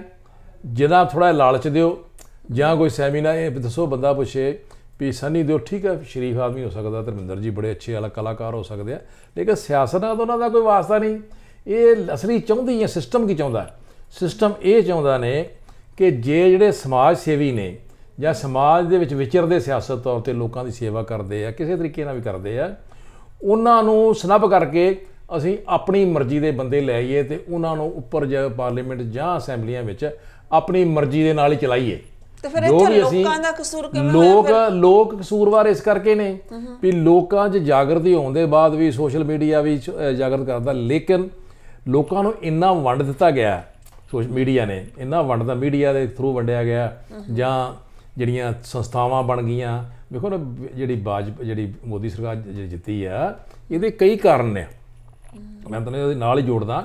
ਕਾਰਨ ਕੀ ਹੈ ਵੀ ਉਹਨਾਂ ਦੀਆਂ ਸੰਸਥਾਵਾਂ ਜਿਹੜੀਆਂ ਇਸ ਤਰ੍ਹਾਂ ਹਿੰਦੂ ਪ੍ਰੀਸ਼ਦ ਗਊ ਸੁਰੱਖਿਆ ਸਮਿਤੀ ਵਿਦਿਆਰਥੀ ਪ੍ਰੀਸ਼ਦ ਆਰਐਸਐਸ ਦੇ ਸਾਡੇ ਸੰਤ ਸਮਾਜ ਸਾਧੂ ਸੰਤ ਅਖਾੜੇ ਇਹ ਧਰਮ ਦੇ ਨਾਂ ਤੇ ਹਿੰਦੂਇਜ਼ਮ ਦੇ ਨਾਂ ਦੇ ਉੱਤੇ ਇੰਨੇ ਕਿ ਇਹਨਾਂ ਨੇ ਆਪਣੇ ਸੈੱਲ ਕ੍ਰੀਏਟ ਕੀਤੇ ਆ ਇਹਨਾਂ ਦੇ ਮੁਕਾਬਲੇ ਤੇ ਜਿਹੜੀਆਂ ਦੂਜੀਆਂ ਪੋਲੀਟੀਕਲ ਪਾਰਟੀਆਂ ਉਹਨਾਂ ਦੀਆਂ ਜਿਹੜੀਆਂ ਬ੍ਰਾਂਚਸ ਨੇ ਯੂਥ ਵਿੰਗਸ ਨੇ। ਜਾਂ ਉਹਨਾਂ ਦੇ ਸਟੂਡੈਂਟਸ ਵਿੰਗ ਨੇ ਜਾਂ ਦੂਸਰੇ ਕਿਸਾਨ ਵਿੰਗ ਨੇ ਉਹ ਬਿਲਕੁਲ ਨਕਾਰਾ। ਜੇ ਮੁੰਡੇ ਯੂਥ ਕਾਂਗਰਸ ਜਾਂ ਯੂਥ ਕਾਲ ਦੇ ਹੈਗੇ ਨੇ, ਉਹ ਹੈਗੇ ਨੇ ਇਹਨਾਂ ਲੀਡਰਾਂ ਦੇ ਮੁੰਡੇ। ਜਾਂ ਵਾਰ- ਵਿਹਲੇ ਮੁੰਡੇ, ਵਿਹਲੜ ਮੁੰਡੇ ਉਹਨਾਂ ਨਾਲ ਲਾ ਲੈਂਦੇ, ਗ- ਗੱਡੀਆਂ ਹੀ ਭਾ ਲੈਂਦੇ ਨੇ। ਉਹ ਚੀਜ਼ਾਂ ਇਹਨਾਂ ਦੀਆਂ, ਇਹ ਆਰਗੇਨਾਈਜੇਸ਼ਨ ਇਹਨਾਂ ਦੀ, ਉਹਨਾਂ ਦਾ ਇੰਪ੍ਰੈਸ਼ਨ ਸਮਾਜ 'ਚ ਇੰਨਾ ਗਿਆ। ਲੇਕਿਨ ਇਹਨਾਂ ਦੀਆਂ ਸੰਸਥਾਵਾਂ ਧਰਮ ਦੇ ਨਾਂ ਤੇ, ਮੋਸ਼ਨ ਦੇ ਨਾਂ, ਮੰਦਰਾਂ 'ਚ ਉਹ ਬੈਠੇ, ਕਬਜ਼ਾ ਕਰਕੇ ਬੈਠੇ ਆ। ਖਾੜਿਆਂ 'ਚ ਬੈਠੇ, ਧਾਰਮਿਕ ਖਾੜਿਆਂ 'ਚ ਕਬਜ਼ਾ ਕਰਕੇ ਬੈਠੇ ਆ। ਹੋਰ ਐਜੂਕੇਸ਼ਨ ਸੰਸਥਾਵਾਂ 'ਚ ਕਬਜ਼ਾ ਕਰਕੇ ਬਹਿ ਗਿਆ। ਉਹ ਵੱਡਾ ਕਾਰਨ ਸੀ ਜੇ ਕਿ ਇਹਨਾਂ ਪਾਰਟੀਆਂ ਕੋਲ ਨਹੀਂ ਸੀ ਹੈਗਾ, ਉਹਨਾਂ ਨੇ ਸ਼ੁਰੂ ਤੋਂ ਹੀ ਇਹਨਾਂ ਸ਼ੁਰੂ ਤੋਂ ਹੀ ਲੌਬੀ ਰੱਖੀ 5 ਸਾਲ ਤੋਂ ਹੀ, ਇਸੇ ਚੀਜ਼ ਉੱਤੇ ਹੀ। ਕਰਨਾ ਕਰਾਉਣਾ ਕੁਛ ਨਹੀਂ। ਇਹ ਰਾਮ ਮੰਦਰ ਦਾ ਮੁੱਦਾ ਭਾਰ ਭਾਰਦੇ ਰਹੇ 4 ਸਾਲ 5 ਸਾਲ। ਕਦੀ ਉਹ ਫਿਰ- ਫਿਰ ਆਖਰ ਦੇ ਇਹ ਆ ਗਿਆ। ਐਕਸਟ੍ਰੀਮ ਨੈਸ਼ਨਲਿਜ਼ਮ ਆ ਗਿਆ, ਵੀ ਬਾਲਾਕੋਟ ਆ ਗਿਆ, ਫਿਰ ਪਾਕਿਸਤਾਨ ਦਾ ਮੁੱਦਾ ਆ ਗਿਆ। ਉਹਦੇ ਤੇ ਪੋਲੀਟੀਕਲ ਪਾਰਟੀਆਂ ਨੂੰ ਡਿਫੈਂਸਿਵ ਕਰਦਾ, ਦੂਜੀਆਂ ਪਾਰਟੀਆਂ ਨੂੰ ਡਿਫੈਂਸਿਵ ਕਰਦਾ। ਆਪ ਅਫੈਂਸਿਵ ਹੋ ਗਏ ਆ ਵੱਡੇ ਦੇਸ਼ ਭਗਤ ਬਣ ਗਏ। ਔਰ ਹੁਣ ਵੇਖੋ ਸਾਹਮਣੇ ਆਉਂਦੇ ਆ ਜਦੋਂ ਹੈਲੀਕਾਪਟਰ ਕਿੰਨਾ ਕਰਾਇਆ ਉਦੋਂ ਡਿੱਗਾ ਉਦੋਂ ਖਬਰ ਹੀ ਕਿਸੇ ਨਹੀਂ ਕੱਢੀ। ਹੁਣ ਖਬਰ ਆ ਗਈ ਪੰਜ ਕੇ ਸੱਤ ਉਹਦੇ 에ਅਰ ਫੋਰਸ ਦੇ ਅਫਸਰ ਸੀ ਉਹ ਆਪਣੀ ਗੋਲੀ ਨਾਲ ਆਪਣੀ ਹੀ ਸ਼ੂਟਿੰਗ ਨਾਲ ਉਹ ਡਿੱਗੇ ਡਿੱਗ ਪਿਆ ਭਾਈ ਜਾਂ ਕੀ ਕਹਿੰਦੇ ਉਹਨੂੰ ਹੈਲੀਕਾਪਟਰ ਤੇ ਲੇਕਿਨ ਉਹ ਮਤਲਬ ਇਹ ਦੱਸਿਆ ਹੀ ਨਹੀਂ ਮੀਡੀਆ ਨੇ ਕਿਸੇ ਨੇ ਗੱਲ ਹੀ ਨਹੀਂ ਕੀਤੀ। ਇਹ ਚੀਜ਼ਾਂ ਜਿਹੜੀਆਂ ਬੜੀਆਂ ਵੱਡੀਆਂ ਮੈਟਰ ਕਰਦੀਆਂ। ਇਸ ਕਰਕੇ ਪੰਜਾਬ ਦੇ ਵਿੱਚ ਜਿਹੜੀ ਤੁਸੀਂ ਗੱਲ ਕੀਤੀ ਲੋਕਾਂ ਦੀ ਗੱਲ ਹੈ ਲੋਕ ਤੇ ਇਦਾਂ ਹੀ ਵੰਡੇ ਵੰਡੇ ਗਏ ਨੇ। ਲੋਕਾਂ ਦਾ ਕਸੂਰ ਦੀ ਬਜਾਏ ਮੈਨੂੰ ਇਹ ਵੀ ਨਾਲ ਲੱਗਦਾ ਕਿ ਇੱਕ ਬੜੀ ਸੋਚੀ ਸਮਝੀ ਸਕੀਮ ਦੇ ਨਾਲ ਵੋਟਾਂ ਜਿੱਤੀਆਂ ਗਈਆਂ ਨੇ। ਸਕੀਮਾਂ ਤੇ ਹੁੰਦੀਆਂ ਜੀ ਰੂਲਿੰਗ ਕਲਾਸਾਂ ਹੁੰਦੀਆਂ ਜਿਹੜੀਆਂ ਰੂਲਿੰਗ ਕਲਾਸਾਂ ਪਰ ਹੁੰਦੀਆਂ ਨਾ ਜਿਹੜੀ ਮਾਫ ਹੁਣ ਕਰਨਾ ਸਕੀਮ ਲੱਗੀ ਹੈ ਨਾ ਇਹ ਕੁਝ ਜ਼ਿਆਦਾ ਤਕੜੀ ਰਹੀ ਹੈ। ਤੇ ਕਹਿੰਦੇ ਆ ਵੀ ਹੁਣ ਸਾ- ਨਾ ਸਕੀਮਾਂ ਲੱਗ ਜਾਂਦੀਆਂ ਦੇਖੋ ਮਾਫ ਕਰਨਾ ਪੰਜਾਬ ਦਾ। ਇਤਿਹਾਸ ਲੈ ਲਓ ਤੁਸੀਂ ਅਕਾਲੀ ਦਲ ਦਾ ਇਤਿਹਾਸ ਲੈ ਲਓ। ਅਕਾਲੀ ਦਲ ਤੇ ਰਾਜ ਕਰਨ ਵਾਲੀ ਰਾਜ ਕਰਨ ਵਾਲੇ ਲੋਕ ਕੌਣ ਨੇ? ਤੇ ਅਕਾਲੀ ਦਲ ਨੂੰ ਖੜਾ ਕਰਨ ਵਾਲਾ ਕੌਣ ਹੈ? 1920 ਚ ਅਕਾਲੀ ਦਲ ਬਣਿਆ। ਗੁਰਦੁਆਰਾ ਸੁਧਾਰ ਲਹਿਰ ਦੇ ਵਿੱਚ ਚੱਲਿਆ। ਐਸਜੀਪੀਸੀ 1925 ਚ ਬਣੀ। ਕੁਰਬਾਨੀਆਂ ਕਿੰਨਾ ਕੀਤੀਆਂ? ਆਮ ਜ਼ਿਮੀਂਦਾਰਾਂ ਨੇ, ਆਮ ਲੋਕਾਂ ਨੇ। ਪੰਜਾਬੀ ਸੂਬਾ ਦੀ ਮੂਵਮੈਂਟ ਚੱਲੀ। ਕੁਰਬਾਨੀਆਂ ਕਿੰਨਾ ਕੀਤੀਆਂ? ਆਮ ਲੋਕਾਂ ਨੇ, ਆਮ ਜ਼ਿਮੀਂਦਾਰਾਂ ਨੇ ਪੰਜਾਬੀ ਭਾਸ਼ਾ ਦੇ ਉੱਤੇ। ਰਾ- ਉਹਨਾਂ ਦੀ ਲੀਡਰਸ਼ਿਪ ਕਿਹੜੀ ਸੀ? ਬਾਬਾ ਖੜਕ ਸਿੰਘ ਪਹਿਲਾਂ ਉਹਦੇ ਆਮ ਬੰਦਾ ਸੀ। ਉਹਨੂੰ ਮਾਰਨ ਵਾਸਤੇ ਮਾਸਟਰ ਤਾਰਾ ਸਿੰਘ ਨੂੰ ਲੈਣ ਤਾ, ਮਾਸਟਰ ਤਾਰਾ ਸਿੰਘ ਨੂੰ ਖਤਮ ਕਰਨ ਵਾਸਤੇ ਸੰਤ ਫਤਿਹ ਸਿੰਘ ਨੂੰ ਲੈਣ ਤਾ, ਸੰਤ ਫਤਿਹ ਸਿੰਘ ਨੂੰ ਖਤਮ ਕਰਨ ਵਾਸਤੇ ਲੌਂਗੋਵਾਲ ਸਾਹਿਬ ਨੂੰ ਲੈਣ ਤਾ, ਲੌਂਗੋਵਾਲ ਨੂੰ ਖਤਮ ਕਰਨ ਵਾਸਤੇ ਬੰਦਾ ਕੋਈ ਹੋਰ ਆ ਗਿਆ। ਉਹ ਰਾਜ ਕੌਣ ਕਰਦੇ? ਜਿਹੜੇ ਜਿਹੜੇ ਚਲਾਉਂਦੇ ਸੀ, ਜਿਹੜੇ ਮੋ- ਮੋਹਰਿਆਂ ਨੂੰ ਚਲਾਉਂਦੇ ਸੀ, ਕੌਣ ਕਰਦੇ? ਉਹ ਜ਼ਗੀਰਦਾਰ ਪੰਜਾਬ ਸਿੱਖ ਕੌਮ ਦੀ ਬਦਕਿਸਮਤੀ ਮੈਂ ਕਹਾਂਗਾ, ਮੈਨੂੰ ਮਾਫ ਕਰਨਗੇ ਲੋਕ, ਪੰਜਾਬ ਦੇ ਲੋਕ, ਕਿ ਸਿੱਖ ਕੌਮ ਦੀ ਬਦਕਿਸਮਤੀ ਕਿ ਸਿੱਖ ਕੌਮ ਨੂੰ ਜਾਂ ਪੰਜਾਬੀ ਕੌਮ ਨੂੰ ਜਿਨ੍ਹਾਂ ਲੀਡ ਕੀਤਾ ਉਹ ਜ਼ਗੀਰਦਾਰ ਤੇ ਉਹ ਸਰਮਾਇਆਦਾਰ ਲੀਡ ਕਰਦੇ ਰਹੇ। ਰੂਲਿੰਗ ਕਲਾਸ ਉਹ ਅੰਗਰੇਜ਼ਾਂ ਵੇਲੇ ਵੀ ਉਦਾਂ ਦੇ ਉਹੀ ਲੋਕ ਸਨ ਕਾਂਗਰਸ ਵੇਲੇ ਵੀ ਉਹੀ ਲੋਕ ਸਨ ਔਰ ਹੁਣ ਵੀ ਉਹੀ ਲੋਕ ਨੇ। ਉਹਨਾਂ ਲੋਕਾਂ ਨੂੰ ਕੁੱਟਿਆ ਵੀ ਲੁੱਟਿਆ ਵੀ ਤੇ ਰਾਜ ਵੀ ਕਰਨ ਦੇ ਨੇ। ਤੇ ਕੁਰਬਾਨੀਆਂ ਕੌਣ ਕਰਨ ਦੇ ਨੇ? ਜਦੋਂ ਆ ਮੂਵਮੈਂਟ ਚੱਲੀ ਜਦੋਂ ਆ ਆਪਣੇ ਭਿੰਡਰਾਂ ਵਾਲੇ ਸਾਹਿਬ ਦੀ ਮੂਵਮੈਂਟ ਚੱਲੀ ਉਦੋਂ ਵੀ ਕੌਣ ਮਰੇ ਲੋਕ? ਆਮ ਲੋਕ ਮਰੇ। ਜਿਹੜੇ ਲੀਡਰ ਖਰੀਦ ਲੈ ਜਾਂਦੇ ਨਾ ਖਰੀਦੇ ਨਹੀਂ ਜਾਂਦੇ। ਲੀਡਰ ਆਮ ਲੋਕ ਮਰੇ ਨਾ ਤੇ ਲੀਡ ਉਹਨਾਂ ਨੇ ਬੇਵਕੂਫ ਬਣਾਇਆ ਜਿਹੜੇ ਦਿਮਾਗ ਬੈਠੇ ਨੇ ਵੱਡੇ ਵੱਡੇ ਪੈਸੇ ਵਾਲੇ ਜਾਂ ਥਿੰਕ ਟੈਂਕ ਬੈਠੇ ਆ ਵੀ ਲੋਕਾਂ ਨੂੰ ਕਿੱਦਾਂ ਬੇਵਕੂਫ ਬਣਾਉਣਾ ਲੋਕਾਂ ਦੀ ਮੂਵਮੈਂਟ ਨੂੰ ਕਿੱਦਾਂ ਆਵਾਰਨਾ ਤੇ ਕਿੱਦਾਂ ਫਿਨਿਸ਼ ਕਰਨਾ ਇਹ ਲੋਕ ਚੰਗੀ ਤਰ੍ਹਾਂ ਜਾਣਦੇ ਪੈਸਾ ਇਹਨਾਂ ਕੋਲ ਆ ਇਹਨਾਂ ਰਿਸ਼ਤੇਦਾਰੀਆਂ ਸਾਂਝੀਆਂ ਨੇ ਇਹਨਾਂ ਰੂਲਿੰਗ ਕਲਾਸ ਚਾਹੇ ਉਹ ਕਾਂਗਰਸ ਦੀ ਹੋਵੇ ਚਾਹੇ ਉਹ ਅਕਾਲੀ ਦਲ ਹੋਵੇ ਜਾਂ ਬੀਜੇਪੀ ਇਹ ਰੂਲਿੰਗ ਕਲਾਸ ਹੈ ਫਿਰ ਤੁਸੀਂ ਇਹ ਸਮਝਦੇ ਹੋ ਕਿ ਹੁਣ ਦੇਖੋ ਜੀ ਇਮਾਨਦਾਰੀ ਕੰਮ ਕਰਨ ਵਾਲੇ ਦਾ ਕੋਈ ਗੱਲ ਨਹੀਂ ਹੈਗੀ। ਨਹੀਂ ਐਸੀ ਗੱਲ ਨਹੀਂ ਗਈ। ਹੁਣ ਦੇਖੋ ਖਾਲੜਾ ਉੱਥੇ ਜਿਹੜੀ ਕਿ ਬੜੀ ਉਮੀਦ ਸੀਗੀ ਕਿ ਉੱਥੇ ਜਿੱਤਣਗੇ ਉਹ ਹਨਾ ਸਾਰੀਆਂ ਪਾਰਟੀਆਂ ਡਾਇਰੈਕਟ ਉਹਨਾਂ ਦੇ ਨਾਲ ਸੀਗੀਆਂ। ਕਿ ਪਰ ਉਹ ਵੀ ਉੱਥੋਂ ਹਾਰ ਗਏ। ਉਹ ਇੱਥੇ ਫਿਰ ਕੀ ਲੱਗਦਾ ਇੱਥੇ ਫਿਰ ਉਹੀ ਸ਼ੱਕ ਜਿਹੜਾ ਆਪਾਂ ਪਹਿਲਾਂ ਜਿੱਥੋਂ ਗੱਲ ਸ਼ੁਰੂ ਕੀਤੀ ਹੈ ਫਿਰ ਉੱਥੇ ਸ਼ੱਕ ਚਲਿਆ ਜਾਂਦਾ ਕਿ ਜਦੋਂ ਜਿਹੜੀਆਂ ਜਿਹੜੀਆਂ ਸੀਟਾਂ ਤੇ ਕੋਈ ਜਿੱਤਣਾ ਚਾਹੀਦਾ ਹੈ ਸਰਕਾਰਾਂ ਵੱਲੋਂ ਉਹੀ ਜਿੱਤਦਾ ਹੈ, ਹਨਾ? ਜਿਵੇਂ ਹੁਣ ਸਾਰੇ ਕਹਿੰਦੇ ਸੀਗੇ। ਇਹਨੂੰ ਕੋਈ ਨਹੀਂ ਹਰਾ ਸਕਦਾ ਬਾਦਲ ਦੋਨਾਂ ਨੂੰ ਹੀ। ਪਰ ਆਮ ਲੋਕ ਕਹਿੰਦੇ ਸੀ ਨਹੀਂ ਹੁਣ ਹਾਰਨਾ ਫੈਕਟ ਇਹ ਕਹਿੰਦੇ ਸੀਗੇ ਹਾਰਨਗੇ ਇੱਕ ਤਾਂ ਜ਼ਰੂਰ ਹੀ ਹਾਰੂਗੀ ਜੇ ਦੋ- ਦੋਨੇ ਨਹੀਂ ਹਾਰਨਗੇ ਪਰ ਉਹ ਦੋਨੋਂ ਜਿੱਤੇ ਫਿਰ ਮਤਲਬ ਹਰ ਉਲਟਾ ਹੋਇਆ ਇੱਕ ਭਗਵੰਤ ਮਾਨ ਤੋਂ ਬਿਨਾ। ਮੈਂ ਤੁਹਾਨੂੰ ਦੱਸਦਾ ਉਹ ਫਿਰ ਇੱਕ ਤੁਹਾਨੂੰ ਸਬੂਤ ਨਾ ਯਾਦ ਹੋਏਗਾ। ਉਸ ਹਿਸਾਬ ਨਾਲ ਵੀ ਪੇਸ਼ ਹੁੰਦਾ। ਯਾਦ ਹੋਏਗਾ ਤੁਹਾਨੂੰ ਕਿ ਆਪਾਂ ਦੋ ਤਿੰਨ ਐਪੀਸੋਡ ਪਹਿਲਾਂ ਇੱਕ ਡਿਸਕਸ ਕੀਤਾ ਸੀ ਬੀਬੀ ਖਾਲੜਾ ਬਾਰੇ। ਹਾਂਜੀ ਵੀ ਮੈਂ ਤੁਹਾਨੂੰ ਡਿਟੇਲ ਦੱਸੀ ਸੀ ਗੱਲ ਵੀ ਉਹਦੀ ਕੁਰਬਾਨੀਆਂ ਬੜੀਆਂ ਨੇ। ਮੈਂ ਨਾਲ ਤੁਹਾਨੂੰ ਇੱਕ ਐਗਜ਼ਾਮਪਲ ਇਹ ਵੀ ਦਿੱਤੀ ਸੀ ਵੀ ਬਾਬਾ ਸੋਹਣ ਸਿੰਘ ਭਖਣਾ ਗਦਰ ਪਾਰਟੀ ਦੇ ਬੜੇ ਵੱਡੇ ਲੀਡਰ ਹੋਏ ਦੇਸ਼ ਭਗਤ। ਹਾਂਜੀ। ਉਹ ਇਲੈਕਸ਼ਨ ਦੇ ਖੜੇ ਹੋ ਗਏ। ਇਲੈਕਸ਼ਨ ਦੇ ਖੜੇ ਜਵਾਹਰ ਲਾਲ ਨਹਿਰੂ ਉਦੋਂ ਕਰੈਕਟਰ ਸੀ ਲੀਡਰਾਂ ਦਾ। ਉਹ ਸਟੇਜ ਤੇ ਚੜੇ ਤੇ ਉਹ ਖਿਆ ਕੌਣ ਹੈ ਅੱਗੇ ਉਹਨਾਂ ਦੇ ਬਾਬਾ ਸੋਹਣ ਸਿੰਘ ਭਕਣਾ ਉਹ ਸਟੇਜ ਤੋਂ ਥੱਲੇ ਉਤਰ ਗਏ। ਉਹ ਕਰੈਕਟਰ ਸੀ ਉਹਨਾਂ ਲੋਕਾਂ ਦਾ। ਉਹਨਾਂ ਪਿੰਡ ਗਏ ਤੇ ਉਹਨਾਂ ਕਿਹਾ, ਬਾਬਾ ਜੀ, ਤੁਸੀਂ ਲੜਨੀ ਸੀ ਇਲੈਕਸ਼ਨ ਮੈਨੂੰ ਦੱਸ ਦਿਓ, ਤੁਹਾਨੂੰ ਰਾਜ ਸਭਾ ਮੈਂਬਰ ਬਣਾ ਦਿੰਦੇ, ਤੁਸੀਂ ਇਲੈਕਸ਼ਨ 'ਚ ਇੱਕ ਚੱਕਰ 'ਚ ਕੀ ਪੈ ਗਏ ਲੇਕਿਨ ਕੁਰਬਾਨੀ ਇੰਨੀ ਸੀ ਉਹਨਾਂ ਦੀ। ਲੇਕਿਨ ਕਹਿੰਦੇ, ਨਹੀਂ, ਮੈਂ ਲੋਕਾਂ ਦਾ ਲੀਡਰ ਹਾਂ। ਪਰ ਲੋਕਾਂ ਨੇ ਉਹਨਾਂ ਦਿਨਾਂ 'ਚ ਜਦੋਂ ਲੋਕਾਂ ਦਾ ਮਤਲਬ ਇੰਨੇ ਸਿਆਣੇ ਨਹੀਂ ਸੀ, ਉਹ ਬੜੇ ਇਮੋਸ਼ਨਲ ਲੋਕ ਸਨ, ਉਹਨਾਂ ਬਾਬਾ ਸੋਹਣ ਸਿੰਘ ਭਖਣੇ ਨੂੰ ਰਾਤਾ ਤੇ ਗੁਰਦਾਸ ਸਿੰਘ ਢਿੱਲੋਂ ਜਿੱਤ ਗਿਆ ਸੀ ਉਦੋਂ। ਹਾਂਜੀ? ਤੇ ਇਹ ਲੋ, ਮੈਂ ਤੁਹਾਨੂੰ ਉਦੋਂ ਇਸ਼ਾਰਾ ਕੀਤਾ ਸੀ ਵੀ ਠੀਕ ਹੈ ਬੀਬੀ ਖਾਲੜਾ ਦੇ ਪਰਿਵਾਰ ਦੀ ਸਿੱਖ ਕੌਮ ਵਾਸਤੇ, ਪੰਜਾਬੀ ਕੌਮ ਵਾਸਤੇ ਬੜੀ ਕੁਰਬਾਨੀ ਆ। ਉਹਨਾਂ ਨੇ ਵਿਚਾਰਾ ਆਪਣਾ ਪਤੀ ਗਵਾਇਆ। ਲੇਕਿਨ ਇੱਥੋਂ ਦੇ ਲੋਕ ਜਿਹੜੇ ਆ ਨਾ, ਇਹਨਾਂ ਦੀ ਮਾਨਸਿਕਤਾ ਜਿਹੜੀ ਹੈ ਗੁਲਾਮ ਮਾਨਸਿਕਤਾ ਹੈ। ਇਹ ਇੰਨੇ ਜਾਗਰਤ ਦਾ ਕਾਰਨ ਇਹ ਆ ਵੀ ਅਸੀਂ ਜਿਹੜੇ ਪੋਲੀਟੀਕਲ ਬੰਦੇ ਆ ਨਾ ਜਿਹੜੇ ਅੱਛੇ ਲੋਕ ਨੇ ਐਕਟਿਵਿਸਟ ਐਕਟਿਵਿਸਟ ਕਹਿੰਦੇ ਆਪਾਂ ਜਿਨ੍ਹਾਂ ਨੂੰ, ਉਹ ਇਕੱਠੇ ਨਹੀਂ ਹੋ ਸਕੇ ਇੱਕ ਪਲੇਟਫਾਰਮ ਦੇ, ਉਹਨੂੰ ਆਪੋ ਚ ਹੀ ਲੜੀ ਜਾਂਦੇ ਆ। ਵੇਖੋ ਨਾ ਉਹ ਬੀਬੀ ਜਦੋਂ ਮੈਂ ਕਿਹਾ ਦੌੜ ਕੀਤਾ ਸੀ ਵੀ ਜ਼ਰੂਰੀ ਨਹੀਂਗਾ ਬੀਬੀ ਖਾਲੜਾ ਜਿੱਤ ਜੇ ਡਿੰਪਾ ਵੀ ਜਿੱਤ ਸਕਦਾ ਮੈਂ ਤੁਹਾਨੂੰ ਕਿਹਾ ਸੀ। ਔਰ ਉਹੀ ਗੱਲ ਹੋਈ ਮੈਨੂੰ ਪਤਾ ਸੀ ਉਹਦਾ ਉੱਥੋਂ ਦੇ ਸਮੀਕਰਨ ਦਾ। ਲੇਕਿਨ ਦੂਜੇ ਪਾਸੇ ਏਡਾ ਹੌਟ ਮਸਲਾ ਗੁਰੂ ਗ੍ਰੰਥ ਸਾਹਿਬ ਜੀ ਦਾ। ਇੰਨੀ ਮੂਵਮੈਂਟਾਂ ਚੱਲੀਆਂ ਚੱਬੇ ਦੀ ਤੁਸੀਂ ਦਾਈ ਤੋਂ 3 ਸਾਲ ਪਹਿਲਾਂ ਦੀ ਇਤਿਹਾਸ ਯਾਦ ਕਰੋ ਤਿੰਨ ਸਾਲਾਂ ਦਾ ਜੋ ਚੱਬਾ ਤਰਨਤਾਰਨ ਦੇ ਲਾਗੇ ਇੱਕ ਇਹਨਾਂ ਸਿੱਖ ਕਾਨਫਰੰਸ ਕੀਤੀ ਇਹਨਾਂ ਨਿਸ਼ਾਨ ਸਿੰਘ ਵਗੈਰਾ ਤੇ ਆਹ ਕੀ ਹੈਗਾ ਸੀ ਜਿਹੜਾ ਸੌਰੀ ਜਿਹੜੇ ਇਹਨਾਂ ਨੇ ਬਣਾਏ ਐਕਟਮ ਜਹ ਅਜਨਾਲਾ ਵਗੈਰਾ ਅਜਨ ਤੇ ਹਾਂ ਜੀ, ਠੀਕ ਹੈ ਠੀਕ ਹੈ ਅਜਨ ਆਪਣੇ ਇਹ ਬਣਾਏ। 2.5 3 ਲੱਖ 3 ਲੱਖ ਬੰਦਾ ਇਕੱਠਾ ਹੋਇਆ ਬੜਾ ਇੱਕ ਚੀਜ਼ ਮੂਵਮੈਂਟ ਉੱਭਰ ਕੇ ਆਈ ਬਰਗਾੜੀ ਮੋਰਚਾ ਸੀ ਉਦੋਂ ਉਹਦੇ ਆਇਆ ਮੋਰਚਾ ਲੱਗਾ ਐਡਾ ਲੋਕ ਆਏ। ਲੇਕਿਨ ਇਹ ਲੋਕ ਖੁਦ ਹੀ ਆਪਣੀਆਂ ਇੰਟਰਸਟ ਵਾਸਤੇ ਲੋਕਾਂ ਦੀ ਤਮਾਸ਼ਾ ਬਣ ਕੇ ਰਹਿ ਗਏ। ਕੁਝ ਤਮਾਸ਼ਾ ਬਣ ਕੇ ਰਹਿ ਗਏ ਕੁਝ ਮੀਡੀਆ ਨੇ ਕੁਝ ਇਹਨਾਂ ਏਜੰਸੀਆਂ ਨੇ ਕੁਝ ਜਿਹੜੇ ਜਿਹੜੇ ਰੂਲਿੰਗ ਕਲਾਸ ਆ, ਇਹਨਾਂ ਨੇ ਇਹਨਾਂ ਨੂੰ ਤਮਾਸ਼ਾ ਬਣਾਤਾ ਇਹਨਾਂ, ਉਹਨਾਂ ਦੇ ਟ੍ਰੈਪ ਚ ਆ ਗਏ। ਔਰ ਜਿਹੜਾ ਮਕਸਦ ਸੀ ਮੇਨ ਇਹ ਮਜਾਰੇ ਦੇ ਕੀਤੇ, ਲੇਕਿਨ ਪ੍ਰੋਪਰ ਮਜਾਰਾ ਜਿਹੜਾ ਤਰੀਕੇ ਨਾਲ ਲੜਾਈ ਕਰਨ ਦੀ ਲੋੜ ਸੀ ਮਜਾਰਿਆਂ ਨਾਲ ਲੜਾਈਆਂ ਥੋੜ੍ਹਾ ਹੁੰਦੀਆਂ। ਲੜਾਈਆਂ ਤਾਂ ਹੁੰਦੀਆਂ, ਪਿੰਡਾਂ ਪਿੰਡਾਂ 'ਚ ਵੜ ਜਾਣਾ, ਬੂਥਾਂ ਦੇ ਕ- ਸਮਝਾਉਣਾ, ਲੋਕਾਂ ਨੂੰ ਪਿੰਡਾਂ 'ਚ ਸਮਝਾਉਣਾ ਉਹਨਾਂ ਦੀ ਉਭਾਰ ਇਮੋਸ਼ਨਸ ਨੂੰ ਉਭਾਰਨਾ, ਵੀ ਇਹ ਗਲਤ ਹੈ ਲੇਕਿਨ ਦਿੱਕਤ ਕੀ ਆ, ਮੈਂ ਬੇਨਤੀ ਪਹਿਲਾਂ ਵੀ ਕੀਤੀ ਸੀ ਵੀ ਇਹ ਫੈਸਲਾ ਨਹੀਂ ਕਰ ਸਕੇ। ਇੱਕ ਪਾਸੇ ਕਾਂਗਰਸ ਨੂੰ ਵੀ ਉਹਨਾਂ ਹੀ ਗਿਲਟੀ ਕਹਿੰਦੇ ਆ ਤੇ ਉਧਰੋਂ ਬਾਦਲਾਂ ਨੂੰ ਵੀ ਉਹਨਾਂ ਹੀ ਗਿਲਟੀ ਕਹਿੰਦੇ ਆ। ਮੈਂ ਬੇਨਤੀ ਕੀਤੀ ਵੀ ਪਹਿਲਾਂ ਜਿਹੜਾ ਵੱਡਾ ਦੁਸ਼ਮਣ, ਖਤਰਨਾਕ ਦੁਸ਼ਮਣ ਆ, ਜਿਹੜਾ ਜ਼ਿਆਦਾ ਸਿੱਖੀ ਦਾ ਘਾਣ ਕਰ ਰਿਹਾ, ਘਾਣ ਤੇ ਦੋਨਾਂ ਨੇ ਕੀਤਾ, ਲੇਕਿਨ ਪਹਿਲਾਂ ਇਹਨਾਂ ਨੂੰ ਮਾਰ ਲਓ। ਫਿਰ ਬਾਅਦ ਕਾਂਗਰਸ ਵੱਲ ਹੋ ਜਾਓ ਜੇ।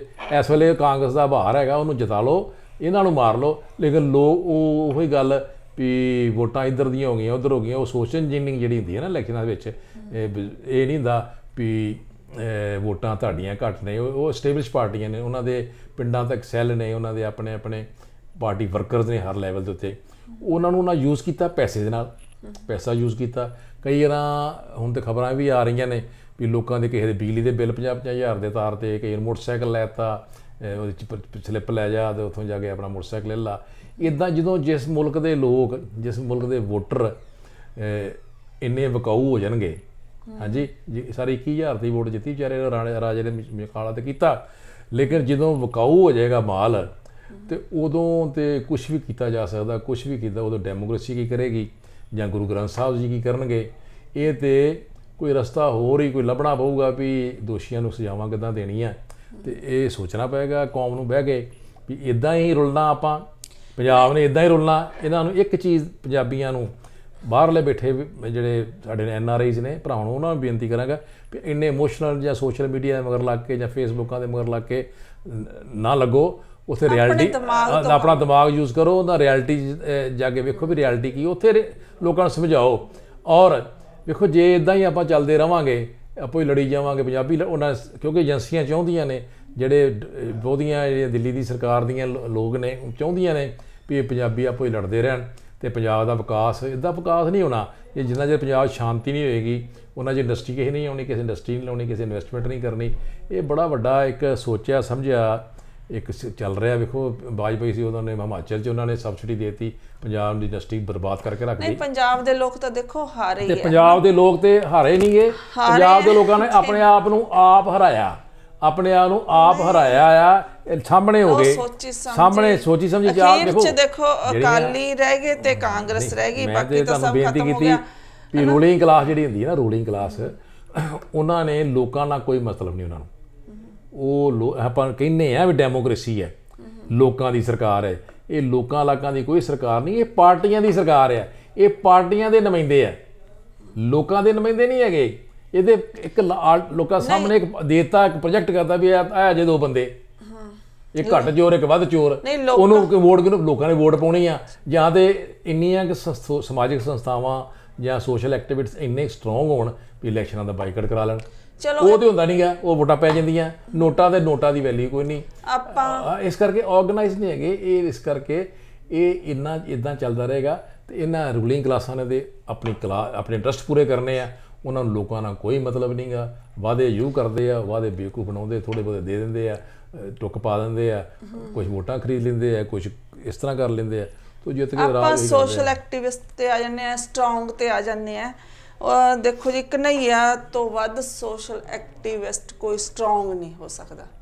ਉਹਦੀ ਜਿਹੜਾ ਕੋਈ ਇੱਕ ਗੱਲ ਹਰ ਗੱਲ 'ਚ ਵਜ਼ਨ ਹੁੰਦਾ ਤੇ ਸੋਚ ਨਹੀਂ ਸੀ ਸਕਦੇ ਵੀ ਉਹ ਹਾਰ ਜਾਊਗਾ। ਉਹ ਕਿਵੇਂ ਹਾਰ ਗਿਆ? ਫਿਰ ਉੱਥੇ ਹੀ ਗੱਲ ਜਾਂਦੀ ਹੈ ਜਿਹੜਾ ਮੈਂ ਤੁਹਾਨੂੰ ਪਹਿਲਾਂ ਕਿਹਾ ਸੀ ਕਿ ਆਪਾਂ ਸ਼ੁਰੂ ਜਿੱਥੋਂ ਆਪਾਂ ਕੀਤੀ ਹੈ ਕਿ ਈਵੀਐਮ ਮਸ਼ੀਨਾਂ ਜਾਂ ਕੋਈ ਹੋਰ ਕਪੜੇਬਾਜੀ ਜਾਂ ਕੀ ਹੈ? ਲੋਕਾਂ ਲੋਕ ਤਾਂ ਹਾਰੇ ਹੈ। ਲੋਕਾਂ ਨੇ ਵੋਟਾਂ ਵੀ ਪਾਈਆਂ ਲੋਕਾਂ ਸੋਚਦੇ ਵੀ ਲੋਕ ਕੁਝ ਹੋਰ ਹੈ ਹੁੰਦਾ ਕੁਝ ਹੋਰ ਹੈ। ਲੋਕਾਂ ਵੋਟ ਲੋਕ ਵੋਟ ਪਾ ਕੇ ਲੋਕ ਗੱਲ ਹੋਰ ਕਰਦੇ ਆ ਹੋ ਕੁਝ ਹੋਰ ਹੈ। ਸੋ ਇਹਦੇ ਬਾਰੇ ਤੁਸੀਂ ਕੀ ਕਹੋਗੇ ਮੈਂ ਤੁਹਾਡੇ ਨਾਲ ਬਿਲਕੁਲ ਐਗਰੀ ਹਾਂ? ਬਿਲਕੁਲ ਐਗਰੀ ਹਾਂ। ਵੀ ਇਹ ਦੇਸ਼ ਦੀ ਅਜੇ ਬੜੀ ਬਦਕਿਸਮਤੀ ਹੈ ਵੀ ਕਨਈਆ ਵਰਗੇ ਬੰਦੇ ਪੜ੍ਹੇ ਲਿਖੇ ਗਰੀਬ ਘਰ ਚੋਂ ਪੈਦਾ ਹੋਣ ਪੈਦਾ ਹੋ ਕੇ ਤੇ ਐਮਪੀ ਦੀ ਇਲੈਕਸ਼ਨ ਲੜੇ ਔਰ ਉਹ ਇੱਕ ਬੜੀ ਵੱਡੀ ਹੈਰਾਨਗੀ ਦੀ ਗੱਲ ਹੈ ਵੀ ਸਾਰੇ ਹਿੰਦੁਸਤਾਨ ਦੇ ਬੜੇ ਬੜੇ ਅੱਛੇ ਅੱਛੇ ਸੈਲੀਬ੍ਰਿਟੀ ਜਿਹੜੇ ਪੋਜ਼ਿਟਿਵ ਸੋਚ ਦੇ ਰੱਖਦੇ, ਵਿਚਾਰ ਰੱਖਦੇ ਆ ਜਾਂ ਚੰਗੀ ਸੋਚ ਰੱਖਦੇ ਆ, ਉਹਦੀ ਸਪੋਰਟ ਤੇ ਆਏ। ਇੰਟੈਲੀਜੈਂਸੀਆ ਦੇਸ਼ ਦਾ ਚੰਗੇ ਚੰਗੇ ਇੰਜੀਨੀਅਰ, ਨੌਜਵਾਨ ਜਿਹੜੇ ਚੰਗੇ ਚੰਗੇ ਸੋਚਦੇ ਆ ਉਹ ਸਾਰੇ ਉਹਦੇ ਸਪੋਰਟ ਤੇ ਗਏ। ਲੇਕਿਨ ਤੁਹਾਡੀ ਗੱਲ ਜਿਹੜੀ ਮਸ਼ੀਨ ਦੀ ਗੱਲ ਬਿਲਕੁਲ ਮੈਂ ਤੁਹਾਡੇ ਨਾਲ ਐਗਰੀ ਹਾਂ। ਮੈਂ ਇਹ ਨਹੀਂ ਮੁਕਰਦਾ ਵੀ ਇਹ ਹੇਰਾਫੇਰੀ ਨਹੀਂ ਹੋਈ ਹੋਏਗੀ ਹੇਰਾਫੇਰੀ ਹੋ ਸਕਦੀ ਹੈ। ਜਿੱਥੇ ਦੂਜੇ ਪਾਸੇ ਉਹਦੀ ਸਵਾਦੀ ਸਵਾਦੀ ਪ੍ਰਗਿਆ ਜਿਹੜੀ ਅੱਤਵਾਦੀ ਮੈਂ ਕਹਾਂਗਾ ਮੈਂ ਤੇ ਉਹਨੂੰ ਮੈਂ ਤੇ ਨਹੀਂ ਉਹਨੂੰ ਕਹਾਂਗਾ ਵੀ ਹਿੰਦੂਆਂ ਦੀ ਨੁਮਾਇੰਦੀ ਹੈ। ਉਹਨੇ ਜਿਸ ਤਰ੍ਹਾਂ ਜਿਹੜੀ ਕਹਿ ਸਕਦੀ ਆ ਵੀ ਜਿਹੜਾ ਦੇਖੋ, ਜਿੱਤ ਗਈ ਜੀ ਉਹ ਕਮਿਊਨਰ- ਮੰਤਰੀ ਅਹੁਦਾ ਵੀ ਲਊਗੀ। ਕਮਿਊਨਰ ਸੀ ਉਹਨੂੰ ਕਹਿੰਦੀ ਬਦਦੁਆਵਾਂ ਦਿੱਤੀਆਂ ਤੇ ਗਾਂਧੀ ਦੇ ਕਾਤਲ ਨੂੰ ਗੋਡਸੇ ਨੂੰ ਉਹ ਦੇਸ਼ ਭਗਤ ਕਹਿ ਸਕਦੀ ਆ। ਤੇ ਇਹ ਜਿਹੜੀਆਂ ਚੀਜ਼ਾਂ ਨੇ ਤੇ ਘਨਈਏ ਨੂੰ ਘਨਈਏ ਵਰਗੇ ਬੰਦੇ ਹਾਰ ਜਾਂਦੇ ਆ। ਲੇਕਿਨ ਮੈਂ ਫਿਰ ਬਾਰ-ਬਾਰ ਉੱਥੇ ਹੀ ਗੱਲ ਤੇ ਆਉਣਾ ਵੀ ਈਵੀਐਮ ਮਸ਼ੀਨਾਂ 'ਚ ਫਾਲਟ ਹੋ ਸਕਦਾ ਹੈ ਕੀਤੀਆਂ ਜਾ ਸਕਦੀਆਂ ਸਭ ਕੁਝ ਹੋ ਸਕਦਾ। ਲੇਕਿਨ ਐਡੀ ਕਿਹੜੀ ਗੱਲ ਆ ਵੀ ਅਸੀਂ ਉਹਨੂੰ ਪ੍ਰੂਫ ਨਹੀਂ ਕਰ ਪਾ ਰਹੇ ਅਜੇ ਤੱਕ। ਜਿਹੜੀ ਸਭ ਤੋਂ ਵੱਡੀ ਚੀਜ਼ ਆ ਜੇ ਤੇ ਪ੍ਰੂਫ ਕੀਤਾ ਹੋਵੇ ਵਾਕਿਆ ਜੇ ਵੀ ਹੋ ਗਈ ਹੈ ਫਿਰ? ਨਹੀਂ ਪ੍ਰੂਫ ਟੈਕਨੀਕਲ ਜਦੋਂ ਨਹੀਂ ਜੂਰੀ ਗੱਲ ਨੇ ਵੀ ਸਾਰੇ ਸੁਣਦੀ, ਨਹੀਂ ਨਹੀਂ ਜਦੋਂ ਨਹੀਂ, ਕਮਿਸ਼ਨ ਨਹੀਂ ਗੱਲ ਨਹੀਂ, ਲੋਕਾਂ ਸੁਣਦਾ। ਦੇ ਲੋਕਾਂ ਦੇ ਕੱਟ ਚ ਕਰਕੇ ਉਹ ਕਿ ਬਣਾ ਕੇ ਮਸ਼ੀਨਾਂ ਜਿਹੜੀਆਂ ਨੇ ਡੈਮੋਨਸਟ੍ਰੇਸ਼ਨ ਕੀਤੀ ਜਾ ਸਕਦੀ ਆ ਉਹਦੇ ਵਿੱਚ ਪ੍ਰੂਫ ਕੀਤਾ ਜਾ ਸਕਦਾ ਜਦੋਂ ਵਾਕਿਆ ਹੀ ਜੇ ਹੋਈਆਂ ਹੋਣ ਜੇ ਕੀਤੀਆਂ ਹੋ ਸਕਦੀਆਂ ਨੇ ਮੈਂ ਨਹੀਂ ਕਹਿੰਦਾ ਹੋ ਨਹੀਂ ਸਕਦੀਆਂ ਲੇਕਿਨ ਟੈਕਨੀਕਲ ਬੰਦੇ ਜ਼ਰੂਰੀ ਨਹੀਂ ਵੀ ਸਾਰੇ ਮੋਦੀ ਦੇ ਹੀ ਨੇ ਇੰਟਰਨੈਸ਼ਨਲ ਲੈਵਲ ਦੇ ਬੜੇ ਬੜੇ ਅੱਛੇ ਅੱਛੇ ਟੈਕਨੀਸ਼ੀਅਨਸ ਹੈਗੇ ਨੇ ਬੜੇ ਬੜੇ ਅੱਛੇ ਅੱਛੇ ਸੌਫਟਵੇਅਰ ਇੰਜੀਨੀਅਰ ਨੇ ਉਹ ਚੀਜ਼ਾਂ ਅਗਰ ਹੋਈਆਂ ਨੇ ਤੇ ਉਹਨੂੰ ਕਰਕੇ ਸਾਬਤ ਕਰਨ। ਸਾਬਤ ਕਰਕੇ ਫਿਰ ਮੂਵਮੈਂਟ ਚਲਾਉਣ ਦੀ ਲੋੜ ਹੈ। ਫਿਰ ਤੇ ਲੜਾ ਲਾ ਕਿਆਸ ਹੋ ਜਾਏਗਾ। ਅਗਰ ਇਹ ਵਾਕਈ ਹੇਰਾ ਫੇਰੀ ਹੋਈਆਂ, ਤੇ ਫਿਰ ਤੇ ਪੋਲੀਟੀਕਲ ਪਾਰਟੀ ਸੜਕਾਂ ਤੇ ਆਉਣਾ ਚਾਹੀਦਾ। ਵੀ ਸਾਡੇ ਨਾਲ, ਇਹ ਨਜਾਇਜ਼ ਹੋਇਆ। ਉਹਨਾਂ ਦੀ ਬੇ- ਉਹਨਾਂ ਦੀ ਗਰਾਊਂਡ ਜਿਹੜੀ ਹੈ ਨਾ ਗਰਾਊਂਡ ਰਿਪੋਰਟ ਜਿਹੜੀ ਆ, ਪਾਰਟੀਆਂ ਦੀ ਵਰਕਰਾਂ ਨੂੰ ਲੈ- ਵਰਕਰਾਂ ਕੋਲ ਲੈਂਦੀਆਂ ਨੇ ਪਾਰਟੀਆਂ। ਵੀ ਕੀ ਵਿਸ਼ੇ ਰਹੀ ਹੈ ਪਿੰਡ ਲੈਵਲ ਤੇ ਬੂਥ ਲੈਵਲ ਤੇ। ਇਹਦਾ ਮਤਲਬ ਇਹ ਆ ਵੀ ਜਿਹੜੀ ਚੀਜ਼ ਆ, ਉਹ ਲੋਕਾਂ ਨੂੰ ਨਹੀਂ ਅਪੀਲ ਕੀਤੀ ਇਹਨਾਂ ਆਪੋਜੀਸ਼ਨ ਪਾਰਟੀਆਂ ਦੀ, ਇਹ ਪਾਰਟੀਆਂ ਦੀ ਵੋਟ ਵੰਡੀ ਗਈ ਆ। ਔਰ ਇਸ ਕਰਕੇ ਉਹਨਾਂ ਵੰਡ ਦਾ ਫਾਇਦਾ ਜਿਹੜਾ ਆ, ਕੁਛ ਉਹਨਾਂ ਨੇ ਟੈਕਟਸ ਐਸੇ ਅਡਾਪਟ ਕੀਤੇ ਨੇ, ਬੰਗਾਲ ਦੇ ਵਿੱਚ ਕੀਤੇ ਆ, ਦੂਸਰੀਆਂ ਸਟੇਟਾਂ 'ਚ ਕੀਤੇ ਨੇ, ਡਰਾਕ ਦੇ ਸਿਰਫ ਪੰਜਾਬ ਤੇ ਥੋੜਾ ਬਹੁਤਾ ਪੰਜਾਬ ਤੇ ਕੇਰਲਾ। ਉਹ ਇਨਫਲੂਐਂਸ ਥੱਲੇ ਇਹਨਾਂ ਥੱਲੇ ਨਹੀਂ ਆਏ। ਲੇਕਿਨ ਕੇਰਲਾ 'ਚ ਵੀ ਇਹਨਾਂ 5 ਸਾਲ ਤੋਂ ਪੂਰਾ ਜ਼ੋਰ ਦਿੱਤਾ ਹਿੰਦੂਇਜ਼ਮ ਦਾ ਦਿੱਤਾ ਜ਼ੋਰ। ਲੇਕਿਨ ਉਹ ਨਹੀਂ ਇਹਨਾਂ ਦੇ ਕਾਬੂ ਆਏ। ਲੇਕਿਨ ਮੋਸਟਲੀ ਬਾਕੀ ਸਾਰੇ ਥਾਵਾਂ ਤੇ ਇਹਨਾਂ ਨੇ ਐਕਸਟ੍ਰੀਮ ਨੈਸ਼ਨਲਿਜ਼ਮ ਦਾ ਤੇ ਜਿਹੜੇ ਛੋਟੇ ਲੈਵਲ ਜਿਨ੍ਹਾਂ ਨੂੰ ਅਸੀਂ ਨੋਟ ਨਹੀਂ ਕੀਤਾ ਕਈ ਗੱਲਾਂ ਵੀ ਇਹਨਾਂ ਛੋਟੇ ਸਿਲੰਡਰ ਦਿੱਤੇ ਅਸੀਂ ਗਰੀਬਾਂ ਨੂੰ 40 40 50 50 ਹਜ਼ਾਰ ਰੁਪਇਆ। ਚਲੋ ਤਾਂ ਚੰਗੀ ਗੱਲ ਸੀ ਦਿੱਤੀ, ਸੀ। ਉਹ ਚੀਜ਼ਾਂ ਦਾ ਵੀ। ਉਹ ਚੀਜ਼ਾਂ ਦਾ ਵੀ ਆਮ। ਗਰੀਬਾਂ ਲੋਕਾਂ ਦੇ ਅਸਰ ਹੋਇਆ। ਉਹਨਾਂ ਨੇ ਵੋਟਾਂ ਪਾਈਆਂ। ਇਸ ਕਰਕੇ ਸਿਰਫ ਉਹਦੇ ਔਰ ਅਸਰ ਕੁਝ ਕਰਕੇ ਕੁਝ ਲੋਕਾਂ ਨੂੰ। ਸਮਝ ਨਹੀਂ ਕੁਝ ਜਿਹੜੇ ਦਿੱਤਾ। ਅਲਾਈਐਂਸਸ ਵੀ ਜਿਹੜੇ ਸੀ ਨਾ ਅਲਾਈਐਂਸਸ ਜਿਹੜਾ ਨਹੀਂ ਦਿੱਤਾ। ਅਲਾਈਐਂਸਸ ਨੂੰ ਵੀ ਲੋਕਾਂ ਨੇ ਕੋਈ ਏਡਾ ਵਧੀਆ ਆਨਰ ਨਹੀਂ ਕੀਤਾ। ਹਲ ਔਰ ਦੂਜੇ ਪਾਸੇ ਇੱਕ ਲੀਡਰ ਨਹੀਂ ਡਿਵੈਲਪ ਕਰ ਸਕੇ ਆਪੋਜੀਸ਼ਨ ਵਾਲੇ ਨੈਸ਼ਨਲ ਲੈਵਲ ਦਾ ਵੀ ਕਿਹੜਾ ਪ੍ਰਾਈਮ ਮਿਨਿਸਟਰ ਬਣੇਗਾ? ਜਿੱਦਾਂ ਮੋਦੀ ਨੂੰ ਨਾ ਪ੍ਰੋਜੈਕਟ ਕਰਤਾ ਲੋਕਾਂ ਦੇ ਦਿਮਾਗ 'ਚ ਇਹ ਵੀ ਸੀ ਵੀ ਯਾਰ ਮੋਦੀ ਨੂੰ ਵੋਟ ਨਾ ਪਾਈਏ ਤੇ ਕਿਹਨੂੰ ਪਾਈਏ? ਉੱਥੇ ਕਿਹੜਾ ਚੰਗਾ ਚਾਹੀਦਾ ਲੀਡਰ ਹੈ ਉਹਦੇ ਵਿੱਚ ਕੀ ਆ ਜਾਂਦਾ? ਕੁਐਸਚਨਿੰਗ ਹੋ ਜਾਂਦੀ ਹੈ ਗਾਂਧੀ ਫੈਮਿਲੀ ਤੇ ਰਾਹੁਲ ਗਾਂਧੀ ਫੈਮਿਲੀ ਤੇ। ਹਾਂਜੀ ਉਹਨਾਂ ਦਾ ਵੀ ਬਿਲਕੁਲ ਉਹ ਰਾਹੁਲ ਗਾਂਧੀ ਫੈਮਿਲੀ ਆ ਜਾਂਦੀ ਉਹ ਲੋਕਾਂ ਦੇ ਦਿਮਾਗ ਇੰਪ੍ਰੈਸ਼ਨ ਇਹ ਜਾਂਦਾ ਕਰਨੀ। ਕਿੱਡੀ ਵੱਡੀ ਗੱਲ ਕੀਤੀ ਵੀ ਸਚਨ ਪਾਇਲਟ ਰਾਜਸਥਾਨ ਜਿੱਤਿਆ। ਰਾਜਸਥਾਨ ਜਦੋਂ ਉਹਨੇ ਉਹਨੂੰ ਪ੍ਰਧਾਨ ਬਣਾਇਆ ਸੀ ਉਹਨੇ ਬੜੀ ਮਿਹਨਤ ਕੀਤੀ ਮੁੰਡੇ ਨੇ ਤੇ ਰਾਜਸਥਾਨ 'ਚ ਜਿੱਤ ਗਿਆ। ਲੇਕਿਨ ਬਣਾਤਾ ਬੁੱਢਾ ਬਜ਼ੁਰਗ ਇੱਕ ਉਹਦਾ ਕੀ ਹੈਗਾ ਆ ਗਹਿਲੋਤ ਉਹਨੂੰ ਬਣਾਤਾ ਚੀਫ ਮਿਨਿਸਟਰ ਉਹਨੂੰ ਥੱਲੇ ਲਾਤਾ ਉਧਰੋਂ ਮੱਧ ਪ੍ਰਦੇਸ਼ 'ਚ ਉਹਦਾ ਵਿਜੇ ਆ- ਸਿੱਧੀਆ ਹੈਗਾ ਮੁੰਡਾ ਜੋਤੀ ਰਾਏ ਉਹਨੇ ਜ਼ੋਰ ਲਾਇਆ ਪ੍ਰਧਾਨ ਸੀ ਉਹ ਤੇ ਉਹ ਉਹਨੂੰ ਉਹਨੂੰ ਬਣਾਉਣ ਦੀ ਬਜਾਏ ਬਣਾਤਾ। ਕਮਲਨਾਥ ਨੂੰ ਬਜ਼ੁਰਗ ਨੂੰ ਤੇ ਜਿੱਤੇ ਕਈ ਐਲੀਗੇਸ਼ਨ ਵੀ ਹੈਗੇ ਨੇ ਔਰ ਬੜਾ ਵੱਡਾ ਇੰਡਸਟਰੀਲਿਸਟ ਵੀ ਹੈਗਾ। ਉਹ ਚੀਜ਼ਾਂ ਚੀੜੀਆਂ ਆਈਆਂ ਉਹ ਕੁਝ ਨੌਜਵਾਨਾਂ ਦੇ ਵਿੱਚ ਵੀ ਤੇ ਕੁਝ ਆਮ ਲੋਕਾਂ 'ਚ ਵੀ ਬੜਾ ਅਸਰ ਹੋਇਆ ਚੀਜ਼ ਦਾ। ਫਿਰ ਇਹਨਾਂ ਨੇ ਉਹਨੂੰ ਜੋਤੀ ਰਾਏ ਨੂੰ ਵਿਚਾਰੇ ਨੂੰ ਲਾਤਾ ਸੋਨੀਆ ਗਾਂਧੀ ਅਹ, ਪ੍ਰਿੰਕਾ ਗਾਂਧੀ ਨਾਲ। ਇਹ ਦਿੱਕਤ ਇਹ ਆ ਵੀ ਲੋਕ ਚਾਹੁੰਦੇ ਨੇ ਵੀ ਨਹਿਰੂ ਨਹਿਰੂ ਦੀ ਫੈਮਿਲੀ ਜਿਹੜੀ ਆ ਇਹ 'ਚ ਥੋੜਾ ਚੇਂਜ ਹੋਣਾ ਚਾਹੀਦਾ ਕਾਂਗਰਸ ਵਿੱਚ ਚੇਂਜ ਹੋਣੀ ਚਾਹੀਦੀ ਲੀਡਰਸ਼ਿਪ ਚੇਂਜ ਹੋਣੀ ਚਾਹੀਦੀ ਹੈ। ਇਹਨਾਂ ਨੇ ਨਵਾਂ ਲੀਡਰਸ਼ਿਪ ਡਿਵੈਲਪ ਕੀਤੇ ਤਾਂ ਹੈ ਮੁੰਡੇ। ਲੇਕਿਨ ਪ੍ਰਿੰਕ ਲੈਣ ਦੀ ਪ੍ਰਿੰਕਾ ਗਾਂਧੀ ਵੀ ਬੜੀ ਵੱਡੀ ਬਣੀ ਕੀ ਗੱਲ ਹੋਣੀ ਹੈ। ਲੇਕਿਨ ਲੋਕ ਜਿਹੜੇ ਆ 100 ਸਾਲ ਪਾਰਟੀ ਪੁਰਾਣੀ ਹੋ ਗਈ ਆ ਉਹਦੇ ਪੁਰਾਣੇ ਲੋਕ ਪੁਰਾਣੀਆਂ ਪੀੜ੍ਹੀਆਂ ਜਿਨ੍ਹਾਂ ਨੂੰ ਪਤਾ ਸੀ ਨਹਿਰੂ ਦੀ ਕੀ ਕੁਰਬਾਨੀ ਸੀ ਜਾਂ ਇੰਦਰਾ ਗਾਂਧੀ ਨੇ ਕੀ ਕੀਤਾ ਉਹ ਚੀਜ਼ਾਂ ਉਹ ਲੋਕ ਖਤਮ ਹੋ ਚੁੱਕੇ ਆ। ਉਹ ਨਵੀਂ ਪੀੜ੍ਹੀ ਆ ਚੁੱਕੀ ਹੈ ਨਵੀਂ ਪੀੜ੍ਹੀ ਨੂੰ ਕੋਈ ਨਹਿਰੂ ਨਾ ਕੋਈ ਪੜ੍ਹ ਕਿਉਂਕਿ ਸਾਡਾ ਐਜੂਕੇਸ਼ਨ ਸਿਸਟਮ ਵੀ ਇਦਾਂ ਦਾ ਵੀ ਅਸੀਂ ਪੜ੍ਹਦੇ ਹੀ ਨਹੀਂ ਇਹਨਾਂ ਲੋਕਾਂ ਨੂੰ। ਪੜ੍ਹਾਇਆ ਹੀ ਨਹੀਂ ਜਾਂਦਾ ਇਹਨਾਂ ਨੂੰ ਨਾ ਕੁਛ ਪੜ੍ਹਦਾ ਕੁਛ ਏਰੀਆ ਜੇ ਰਿਸਰਚ ਸਕਾਲਰ ਉਹ ਪੜ੍ਹਦੇ ਆ ਆਮ ਲੋਕਾਂ ਨਾਲ ਉਹਨਾਂ ਦਾ ਕੋਈ ਵਾਹ ਨਹੀਂਗਾ ਇਸ ਕਰਕੇ ਕਾਂਗਰਸ ਪਾਰਟੀ ਵਿੱਚ ਵੀ ਲੀਡਰਸ਼ਿਪ ਜਿਹੜੀ ਆ ਲੀਡਰਸ਼ਿਪ ਦੀ ਚੇਂਜ ਕਰਨ ਦੀ ਬਹੁਤ ਵੱਡੀ ਜ਼ਰੂਰਤ ਆ।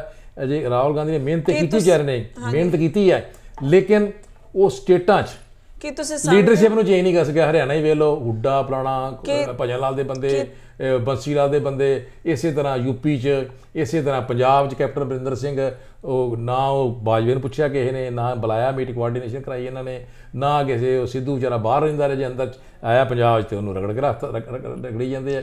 ਇਹ ਹਾਲ ਹੈ ਇਹਨਾਂ ਦਾ। ਕੀ ਇਹ ਵੀ ਇੱਕ ਕਾਰਨ ਹੋ ਸਕਦਾ ਜਿਹੜਾ ਗਠਬੰਧਨ ਨਹੀਂ ਇਹਨਾਂ ਨੇ ਸਾਰਾ ਇੱਕ ਪਾਸੇ ਪੱਕਾ ਕੀਤਾ ਹਾਰਨ ਦਾ ਜਿਵੇਂ ਬੀਜੇਪੀ ਦਾ।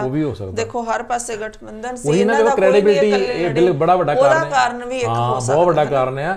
ਔਰ ਉਹਦੇ ਵਿੱਚ ਕੀ ਹੈ ਵੀ ਪੋਲੀਟੀਕਲ ਪਾਰਟੀਆਂ ਜਿਸ ਤਰ੍ਹਾਂ ਨੇ ਐਨਸੀਪੀ ਆ ਮਹਾਰਾਸ਼ਟਰ ਚ ਮਮਤਾ ਆ ਮਾਇਆਵਤੀ ਆ ਜੇ ਤੁਹਾਡਾ ਅਖਿਲੇਸ਼ ਆ ਹੋਰ ਸਟੇਟਾਂ ਦੇ ਵਿੱਚ ਕੀ ਆ ਜਿਸ ਤਰ੍ਹਾਂ ਐਨਡੀ ਉਹ ਆਂਧਰਾ ਪ੍ਰਦੇਸ਼ ਦੇ ਵਿੱਚ ਸੀ ਨਾਇਡੂ।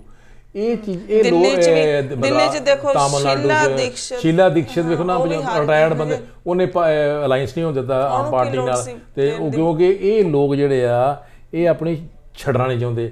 ਔਰ ਸਭ ਤੋਂ ਕਮਜ਼ੋਰ ਜਿਹੜੀ ਹੁੰਦੀ ਹੈ ਨਾ ਡਿਸੀਜਨ ਜਿਹੜਾ ਐਡਮਿਨਿਸਟ੍ਰੇਸ਼ਨ ਐਡਮਿਨਿਸਟ੍ਰੇਟਰ ਹੁੰਦਾ ਅਗਰ ਉਹ ਡਿਸੀਜਨ ਨਹੀਂ ਲੈ ਪਾਉਂਦਾ ਤੇ ਉਹਦੇ ਵਿੱਚ ਉਹ ਸਾਰੀ ਆਰਗੇਨਾਈਜੇਸ਼ਨ ਨੂੰ ਜਾਂ ਸੰਸਥਾ ਨੂੰ ਜਾਂ ਕੰਪਨੀ ਨੂੰ ਬੜਾ ਨੁਕਸਾਨ ਉਠਾਉਣਾ ਪੈਂਦਾ।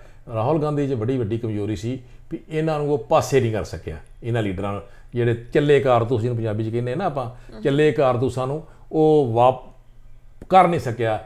ਹਰਿਆਣੇ ਵਿੱਚ ਕੋਈ ਮੂਵਮੈਂਟ ਨਹੀਂ ਆਈ ਪੰਜਾਂ ਸਾਲਾਂ 'ਚ। ਇਹ ਆਪੋ 'ਚ ਕਾਂਗਰਸੀ ਲੜਦੇ ਰਹੇ ਹੁੱਡਾ ਲੜਦਾ ਰਿਹਾ। ਉਹ ਕਿਹੜੀ ਹੈਗੀ? ਚੌਧਰੀ ਜਿਹੜੀ ਬੰਸੀਲਾ ਦੀ ਨੋ ਉਹ ਲੜਦੀ ਰਹੀ। ਉਹ ਤਵਰ ਲੜਦਾ ਰਿਹਾ ਪ੍ਰਧਾਨ ਕਾ ਉਹਨੂੰ ਕਿਸੇ ਨੇ ਕੋਆਰਡੀਨੇਟ ਨਹੀਂ ਕੀਤਾ। ਫਿਰ ਉਹ ਭਜਨ ਲਾਲ ਦਾ ਮੁੰਡਾ ਆ ਗਿਆ। ਇਹ ਸਾਰੇ ਆਪੋ ਹੀ ਲੜਦੇ ਹੀ ਗਏ ਆ। ਔਰ ਉਹਦਾ ਲੜਾਈ ਦਾ ਅ, ਫਾਇਦਾ ਇਹ ਹੋਇਆ ਵੀ ਉਧਰੋਂ ਦੂਜੀ ਫੈਮਿਲੀ ਜਿਹੜੀ ਹੈ ਉਹ ਚਟਾਲਾ ਫੈਮਿਲੀ ਉਹ ਵੀ ਪ- ਪਾੜ ਗਈ। ਉਹ ਪਟਾਉ ਦਾ ਲੋਕਾਂ ਨੇ, ਲੋਕ ਸਿਆਣੇ ਨੇ ਕਈ ਗੱਲਾਂ 'ਚ। ਉਹਨਾਂ ਉਹਨਾਂ ਕਿਹਾ ਵੀ ਇਹਦੇ ਆਪੋ ਹੀ ਲੜੀ ਜਾਂਦੇ ਇਹਦਾ ਲੀਡਰ ਹੀ ਕੋਈ ਨਹੀਂ ਹੈਗਾ। ਉਹ ਵੋਟਾਂ ਫਿਰ ਉਹਨਾਂ ਪਾਰਟੀਆਂ ਪੋਲਰਾਈਜੇਸ਼ਨ ਤੇ ਉਹਨਾਂ ਕਰ ਹੀ ਦਿੱਤੀ ਸੀ ਹਰਿਆਣੇ 'ਚ, ਬੀਜੇਪੀ ਵਾਲਿਆਂ ਨੇ ਅੱਜ ਤੋਂ 3 ਸਾਲ ਪਹਿਲਾਂ ਹੀ। ਉਹਦਾ ਫਾਇਦਾ ਲੈ ਗਏ। ਇਸੇ ਤਰ੍ਹਾਂ ਦੂਜੀਆਂ ਸਟੇਟਾਂ 'ਚ ਹੋਇਆ, ਯੂਪੀ 'ਚ ਵੀ ਹੋਇਆ, ਇਸੇ ਤਰ੍ਹਾਂ ਬਿਆ- ਮੱਧ ਪ੍ਰਦੇਸ਼ 'ਚ ਵੀ ਹੋਇਆ। ਕਿਸਾਨ ਉੱਥੇ, ਮੱਧ ਪ੍ਰਦੇਸ਼ ਕਿਸਾਨ ਮੂਵਮੈਂਟ ਬੜੀ ਉੱਭਰ ਕੇ ਆਈ ਸੀ, ਤਕੜੇ ਤਗੜੀ ਹੋ ਗਏ। ਉੱਥੇ ਬੜਾ ਮੋਰਚਾ ਲਾਇਆ ਸੀ ਦਿੱਲੀ 'ਚ ਵੀ ਆਏ। ਉਹਨਾਂ ਨੂੰ ਗਏ ਸੰਭਾਲੇ ਹੀ ਨਹੀਂ।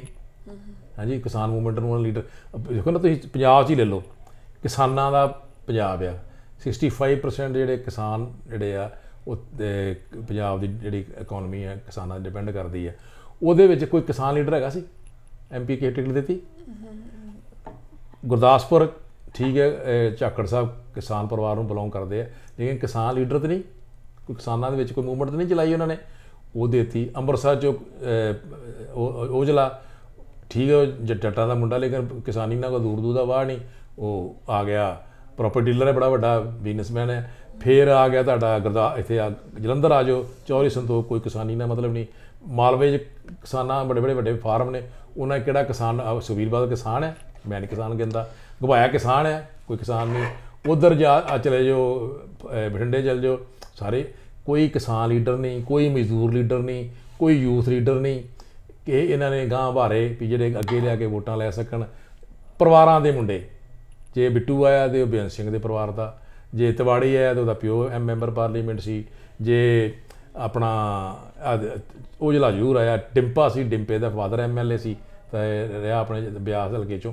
ਇਹ ਸਾਰੇ ਪੋਲੀਟੀਕਲ ਫੈਮਲੀਆਂ ਨੇ। ਆਮ ਲੋਕ ਜਿਹੜੇ ਲੋਕਾਂ ਨੂੰ ਮੌਕਾ ਮਿਲਿਆ ਸੀ ਇੱਕ ਤਰ੍ਹਾਂ ਉੱਭਰਨ ਦਾ ਉਹ ਨਹੀਂ ਆ ਸਕੇ। ਉਹ ਲੀਡਰਸ਼ਿਪ? ਆਮ ਲੋਕ ਵੀ ਹੋ ਰਹੇ ਇਸੇ ਕਰਕੇ ਪੋਲੀਟੀਕਲ ਪਾਰਟੀਆਂ ਕ੍ਰਾਈਸਿਸ ਆ ਕਾਂਗਰਸ ਮੋਦੀ ਕਹਿੰਦਾ ਮੈਂ ਚਾਹ ਵਾਲਾ ਤੇ ਇਹ ਨਹੀਂ ਮਤਲਬ ਇਹ ਵੀ ਹੈਗਾ ਪਰ ਉਹਨਾਂ ਫੈਕਟ ਨਹੀਂ ਕੰਮ ਕਰਦਾ ਨਹੀਂ ਫੈਕਟ ਨਹੀਂ ਕਰਦਾ। ਹੈਨਾ? ਉਹਨੇ ਵੀ ਮੋਦੀ ਨੇ ਵੀ ਵੇਖੋ 100 ਮੋਦੀ ਨੇ ਬੰਦਾ ਉਹ ਬਦਲਿਆ। ਵੇਖੋ ਵੱਡੀ ਉਸ ਪਾਰਟੀ ਦਾ ਉਹਦਾ ਡਿਸੀਜਨ ਵੇਖੋ ਵੇਖੋ ਵੇਖਣ ਵਾਲੀ ਬੀਜੇਪੀ ਦੀ। ਉਸ ਪਾਰਟੀ ਵਾਲਿਆਂ ਨੇ 150 ਬੰਦਾ ਚੇਂਜ ਕੀਤਾ। 150 ਬੰਦੇ ਐਮਪੀਆਂ ਨੂੰ ਨਵਿਆਂ ਨੂੰ ਟਿਕਟਾਂ ਦਿੱਤੀਆਂ। ਇੰਨਾ ਡਿਸਪਲਿਨ ਔਰ ਇੰਨਾ ਆਰਡਰ ਸੀ ਉਹਨਾਂ ਦਾ ਆਪੋ ਵੀ ਨਹੀਂ ਵੀ ਤੁਹਾਨੂੰ ਚੇਂਜ ਕਰੇ ਤੁਹਾਡਾ ਪ੍ਰੋਗਰੈਸ ਜਿਹੜੀ ਉਹਨੇ ਵੇਖੀ ਜਾ ਰਹੀ ਸੀ ਉਹਨਾਂ ਚੇਂਜ ਕੀਤਾ। ਉਹ 150 ਦੇ 100 ਬੰਦਾ ਜਿੱਤ ਕੇ ਆਇਆ ਹਾਂਜੀ। ਹਾਂਜੀ? ਇਹਦਾ ਮਤਲਬ ਉਸ ਪਾਰਟੀ ਵਿੱਚ ਯੁਰਤ ਹੈਗੀ ਹੈ ਹਿੰਮਤ ਹੈਗੀ ਹੈ ਵੀ ਉਹਨਾਂ ਨੇ ਅਡਵਾਨੀ ਨੂੰ ਪਿੱਛੇ ਕਰਤਾ ਮੁਰਲੀ ਮਨੋਜ ਜੋਸ਼ੀ ਨੂੰ ਕਰਤਾ ਪੁਰਾਣੇ ਲੀਡਰ ਸਾਰੇ ਪਿੱਛੇ ਕਰਤੇ ਔਰ ਪ੍ਰੈਜ਼ੀਡੈਂਟ ਜਿਹੜੇ ਮੈਂਬਰ ਪਾਰਲੀਮੈਂਟ ਸੀ ਉਹਨਾਂ ਚੋਂ ਵੀ ਛੰਟ ਕਰਤੀ। ਔਰ ਨਵੇਂ ਮੁੰਡੇ ਲੈਣ ਤੇ ਮੁੰਡੇ ਲੈਣ ਤੇ ਦੂਜੀਆਂ ਪਾਰਟੀਆਂ ਦੇ ਵੀ ਸਾਰੇ ਤੇ ਜਿੱਤ ਕੇ ਜਿੱਤ ਕੇ ਆ ਗਏ। ਇਹਦਾ ਮਤਲਬ ਇਹ ਉਹਨਾਂ ਨੇ ਚੇਂਜ ਕੀਤੀ। ਲੋਕਾਂ ਜਿਹੜੇ ਜਿਨ੍ਹਾਂ ਦਾ ਮਾੜਾ ਇੰਪ੍ਰੈਸ਼ਨ ਸੀ ਉਹਨਾਂ ਨੂੰ ਪਰਾਂ ਕਰਤਾ ਨਵਾਂ ਚਿਹਰਾ ਲੈਣ ਦਾ। ਉਹ ਟੈਕਟੀਕਲੀ ਬੜੇ ਤਰੀਕੇ ਨਾਲ ਲੜੇ ਆ ਜਿੱਤ ਕੀਤੀ ਆ। ਇਹਦੇ ਵਿੱਚ ਸਾਨੂੰ ਦੋ ਰਹਿ- ਆਪਣੇ ਕੰਪਰੋਮਾਈਜ਼ ਕਰ ਲੈਣਾ ਚਾਹੀਦਾ ਸਾਨੂੰ ਮੰਨਣਾ ਚਾਹੀਦਾ। ਮੰਨ ਲਏ ਹੁਣ ਆਪਾਂ ਤੇ ਚਲੋ ਠੀਕ ਹੈ ਐਂਡ ਦੇ ਵਿੱਚ ਮੈਂ ਜਿਹੜੀ ਕਵਿਤਾ ਤੋਂ ਸ਼ੁਰੂ ਕੀਤਾ ਸੀ ਉਹਦੀਆਂ ਕਰੋ। ਚਾਰ ਲਾਈਨਾਂ ਤੋਂ ਬਾਅਦ ਫਿਰ ਟਾਈਮ ਹੋਣ ਵਾਲਾ ਤੇ ਅਸੀਂ ਸਮਾਪਤੀ ਕਰਾਂਗੇ। ਦਬਦਾ ਤਾਂ ਪਹਿਲਾਂ ਹੀ ਨਹੀਂ ਸੀ ਹੁਣ ਤਾਂ ਹੋ ਰਿਪੀਟ ਗਿਆ ਝਾੜੂ ਚਾਹੇ ਹੋ ਗਿਆ ਤੀਲਾ ਤੀਲਾ। ਪੱਕੀ ਕਰ ਸੀਟ ਗਿਆ। ਲੈ ਲਿਆ ਸੰਗਰੂਰ ਹੀ ਮੁੱਲ। ਉਸ ਕੰਮਾਂ ਦੇ ਸਦਕੇ ਜੀ। ਆ ਗਿਆ ਇਹ ਮੋਦੀ ਫਿਰ ਤੋਂ ਭਗਵੇਂ ਰੰਗ ਵਿੱਚ ਰੰਗ ਕੇ ਜੀ। ਕਿਹੜੀ ਹੁਣ ਨਜ਼ਰ ਨਾ ਤੱਕੀਏ? ਕਿਹੜੀ ਹੁਣ ਨਜ਼ਰ ਨਾ ਤੱਕੀਏ? ਵੋਟਾਂ ਦੀ ਮਿਣਤੀ ਨੂੰ ਹੋ ਜੂ 5 ਸਾਲ ਲਈ ਔਖਾ। ਸੱਦੂਆ ਘੱਟ ਗਿਣਤੀ ਨੂੰ। ਉੱਚਾ ਸਾਹ ਲੈਣੀ ਹੋਣਾ ਰਹਿਣਾ ਚੁੱਪ ਕਰਕੇ ਜੀ। ਉੱਚਾ ਸਾਹ ਲੈਣੀ ਹੋਣਾ ਰਹਿਣਾ ਚੁੱਪ ਕਰਕੇ ਜੀ। ਆ ਗਿਆ ਇਹ ਮੋਦੀ ਹੁਣ ਤਾਂ। ਭਗਵੇਂ ਰੰਗ ਵਿੱਚ ਰੰਗ ਕੇ ਜੀ। ਆ। ਗਿਆ ਹੁਣ ਮੋਦੀ ਫਿਰ ਤਾਂ। ਭਗਵੇਂ ਰੰਗ ਵਿੱਚ ਰੰਗ ਕੇ ਜੀ। ਸੋ ਇਸ ਕਵਿਤਾ ਦੀਆਂ ਲਾਈਨਾਂ ਨਾਲ ਅਸੀਂ ਪ੍ਰੋਗਰਾਮ ਸਮੇਟਦੇ ਹਾਂ ਤੇ ਨਾਲ ਐਂਡ ਤੇ ਤੁਸੀਂ ਕਨਕਲੂਜਨ ਕਰੋ ਹਾਂ ਕਿ ਕਨਕਲੂਜਨ ਇਹ ਕਰਨਾ ਵੀ ਅਜੇ ਇਹ ਡਿਸਕਸ਼ਨ ਸਾਡੀ ਕੰਪਲੀਟ ਨਹੀਂ ਹੋਈ। ਇਹ ਦੋ ਤਿੰਨ ਕਿਸ ਸਾਡੇ ਨਾਲ ਰਾਫਤਾਰ ਦੇ ਪ੍ਰੋਗਰਾਮ ਦੇਖਦੇ ਰਹੋ। ਅਸੀਂ ਦੋ ਤਿੰਨ ਕਿਸ ਐਪੀਸੋਡ ਦੇ ਵਿੱਚ ਇਸ ਨੂੰ ਬੜੀ ਇੱਕ ਡਿਸਕਸ਼ਨ ਨੂੰ ਕੰਪਲੀਟ ਕਰਾਂਗੇ ਔਰ ਕੋਸ਼ਿਸ਼ ਕਰਾਂਗੇ ਆਪਣੇ ਹਿੰਦੁਸਤਾਨ ਨੂੰ, ਆਪਣੇ ਪੰਜਾਬੀਆਂ ਨੂੰ ਇੱਕ ਨਵੀਂ ਸੇਧ ਦੇਣ ਦੀ ਵੀ ਕਿਹੜੀ ਸੇਧ ਉਹਨਾਂ ਵਾਸਤੇ ਜਿਹੜੀ ਡਾਇਰੈਕਸ਼ਨ ਆ, ਉਹ ਚੰਗੀ ਆ ਕਿ ਉਹ ਤਾਂ ਤਾਂ ਉਹਨਾਂ ਦਾ ਆਉਣ ਵਾਲਾ ਭਵਿੱਖ ਜਿਹੜਾ ਸਹੀ ਹੋ ਸਕੇ, ਉਹ ਸਹੀ ਪੋਲੀਟੀਕਲ ਲਾਈਨ ਤੇ ਆ ਸਕਣ ਔਰ ਜਿਹੜੀ ਲੀਡਰਸ਼ਿਪ ਨਵੀਂ ਨਵੀਂ ਡਿਵੈਲਪ ਹੋਣ ਦੀ ਕੋਸ਼ਿਸ਼ ਕਰ ਰਹੀ ਹੈ ਕਿੱਦਾਂ ਆਪਾਂ ਇਹਨਾਂ ਲੋਕਾਂ ਨੂੰ ਸੁਚੇਤ ਰਹਿਣਾ ਤੇ ਕਿਹੜੀ ਲੀਡਰਸ਼ਿਪ ਨੂੰ ਦੇ ਨਾਲ ਆਪਾਂ ਖੜੇ ਹੋਣਾ ਇਹ ਸਾਰੀਆਂ ਚੀਜ਼ਾਂ ਕਾਂਗਰਸ ਦੇ ਬਾਰੇ ਵੀ ਇੱਕ ਲੰਮਾ ਐਪੀਸੋਡ ਕਰਾਂਗੇ ਵੀ ਕਾਂਗਰਸ ਨੂੰ ਕੀ ਕਰਨਾ ਚਾਹੀਦਾ, ਕਾਂਗਰਸ ਲੀਡਰਸ਼ਿਪ ਨੂੰ ਕੀ ਕਰਨਾ ਚਾਹੀਦਾ ਔਰ ਇਹਨਾਂ ਪੋਲੀਟੀਕਲ ਪਾਰਟੀਆਂ ਦੇ ਹਰ ਇੱਕ ਨੂੰ ਆਪਾਂ ਕੱਲੇ ਕੱਲੇ ਲੈ ਕੇ ਜਾਂ ਜੁਆਇੰਟਲੀ ਕੋਈ ਜਾਂ 204 ਬੰਦਿਆਂ ਨੂੰ ਕਹਿਰਾ ਸਾਹਿਬ ਬਾਰੇ, ਮਾਨ ਬਾਰੇ, ਗਾਂਧੀ ਜੀ ਬਾਰੇ ਜਾਂ ਹੋਰ ਬੀਬੀ ਖਾਲੜਾ ਜੀ ਬਾਰੇ ਆਪਾਂ ਡਿਟੇਲ 'ਚ ਡਿਸਕਸ ਕਰਾਂਗੇ ਡਾਟਾ ਸਾਡੇ ਕੋਲ ਆ ਜਾਣਗੇ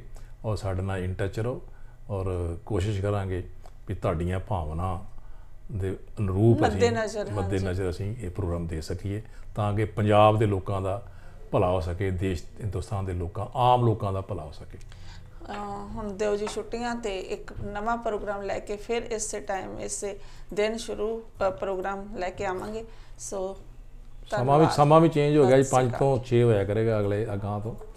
ਤੇ। ਸਮਾਂ ਚੇਂਜ ਹੋ ਗਿਆ। ਸੋ ਬਹੁਤ ਛੁੱਟੀਆਂ ਜੀ। ਬੁਲਾਓ ਸਤਿ ਸ਼੍ਰੀ ਅਕਾਲ। ਸਤਿ ਸ਼੍ਰੀ ਅਕਾਲ ਜੀ।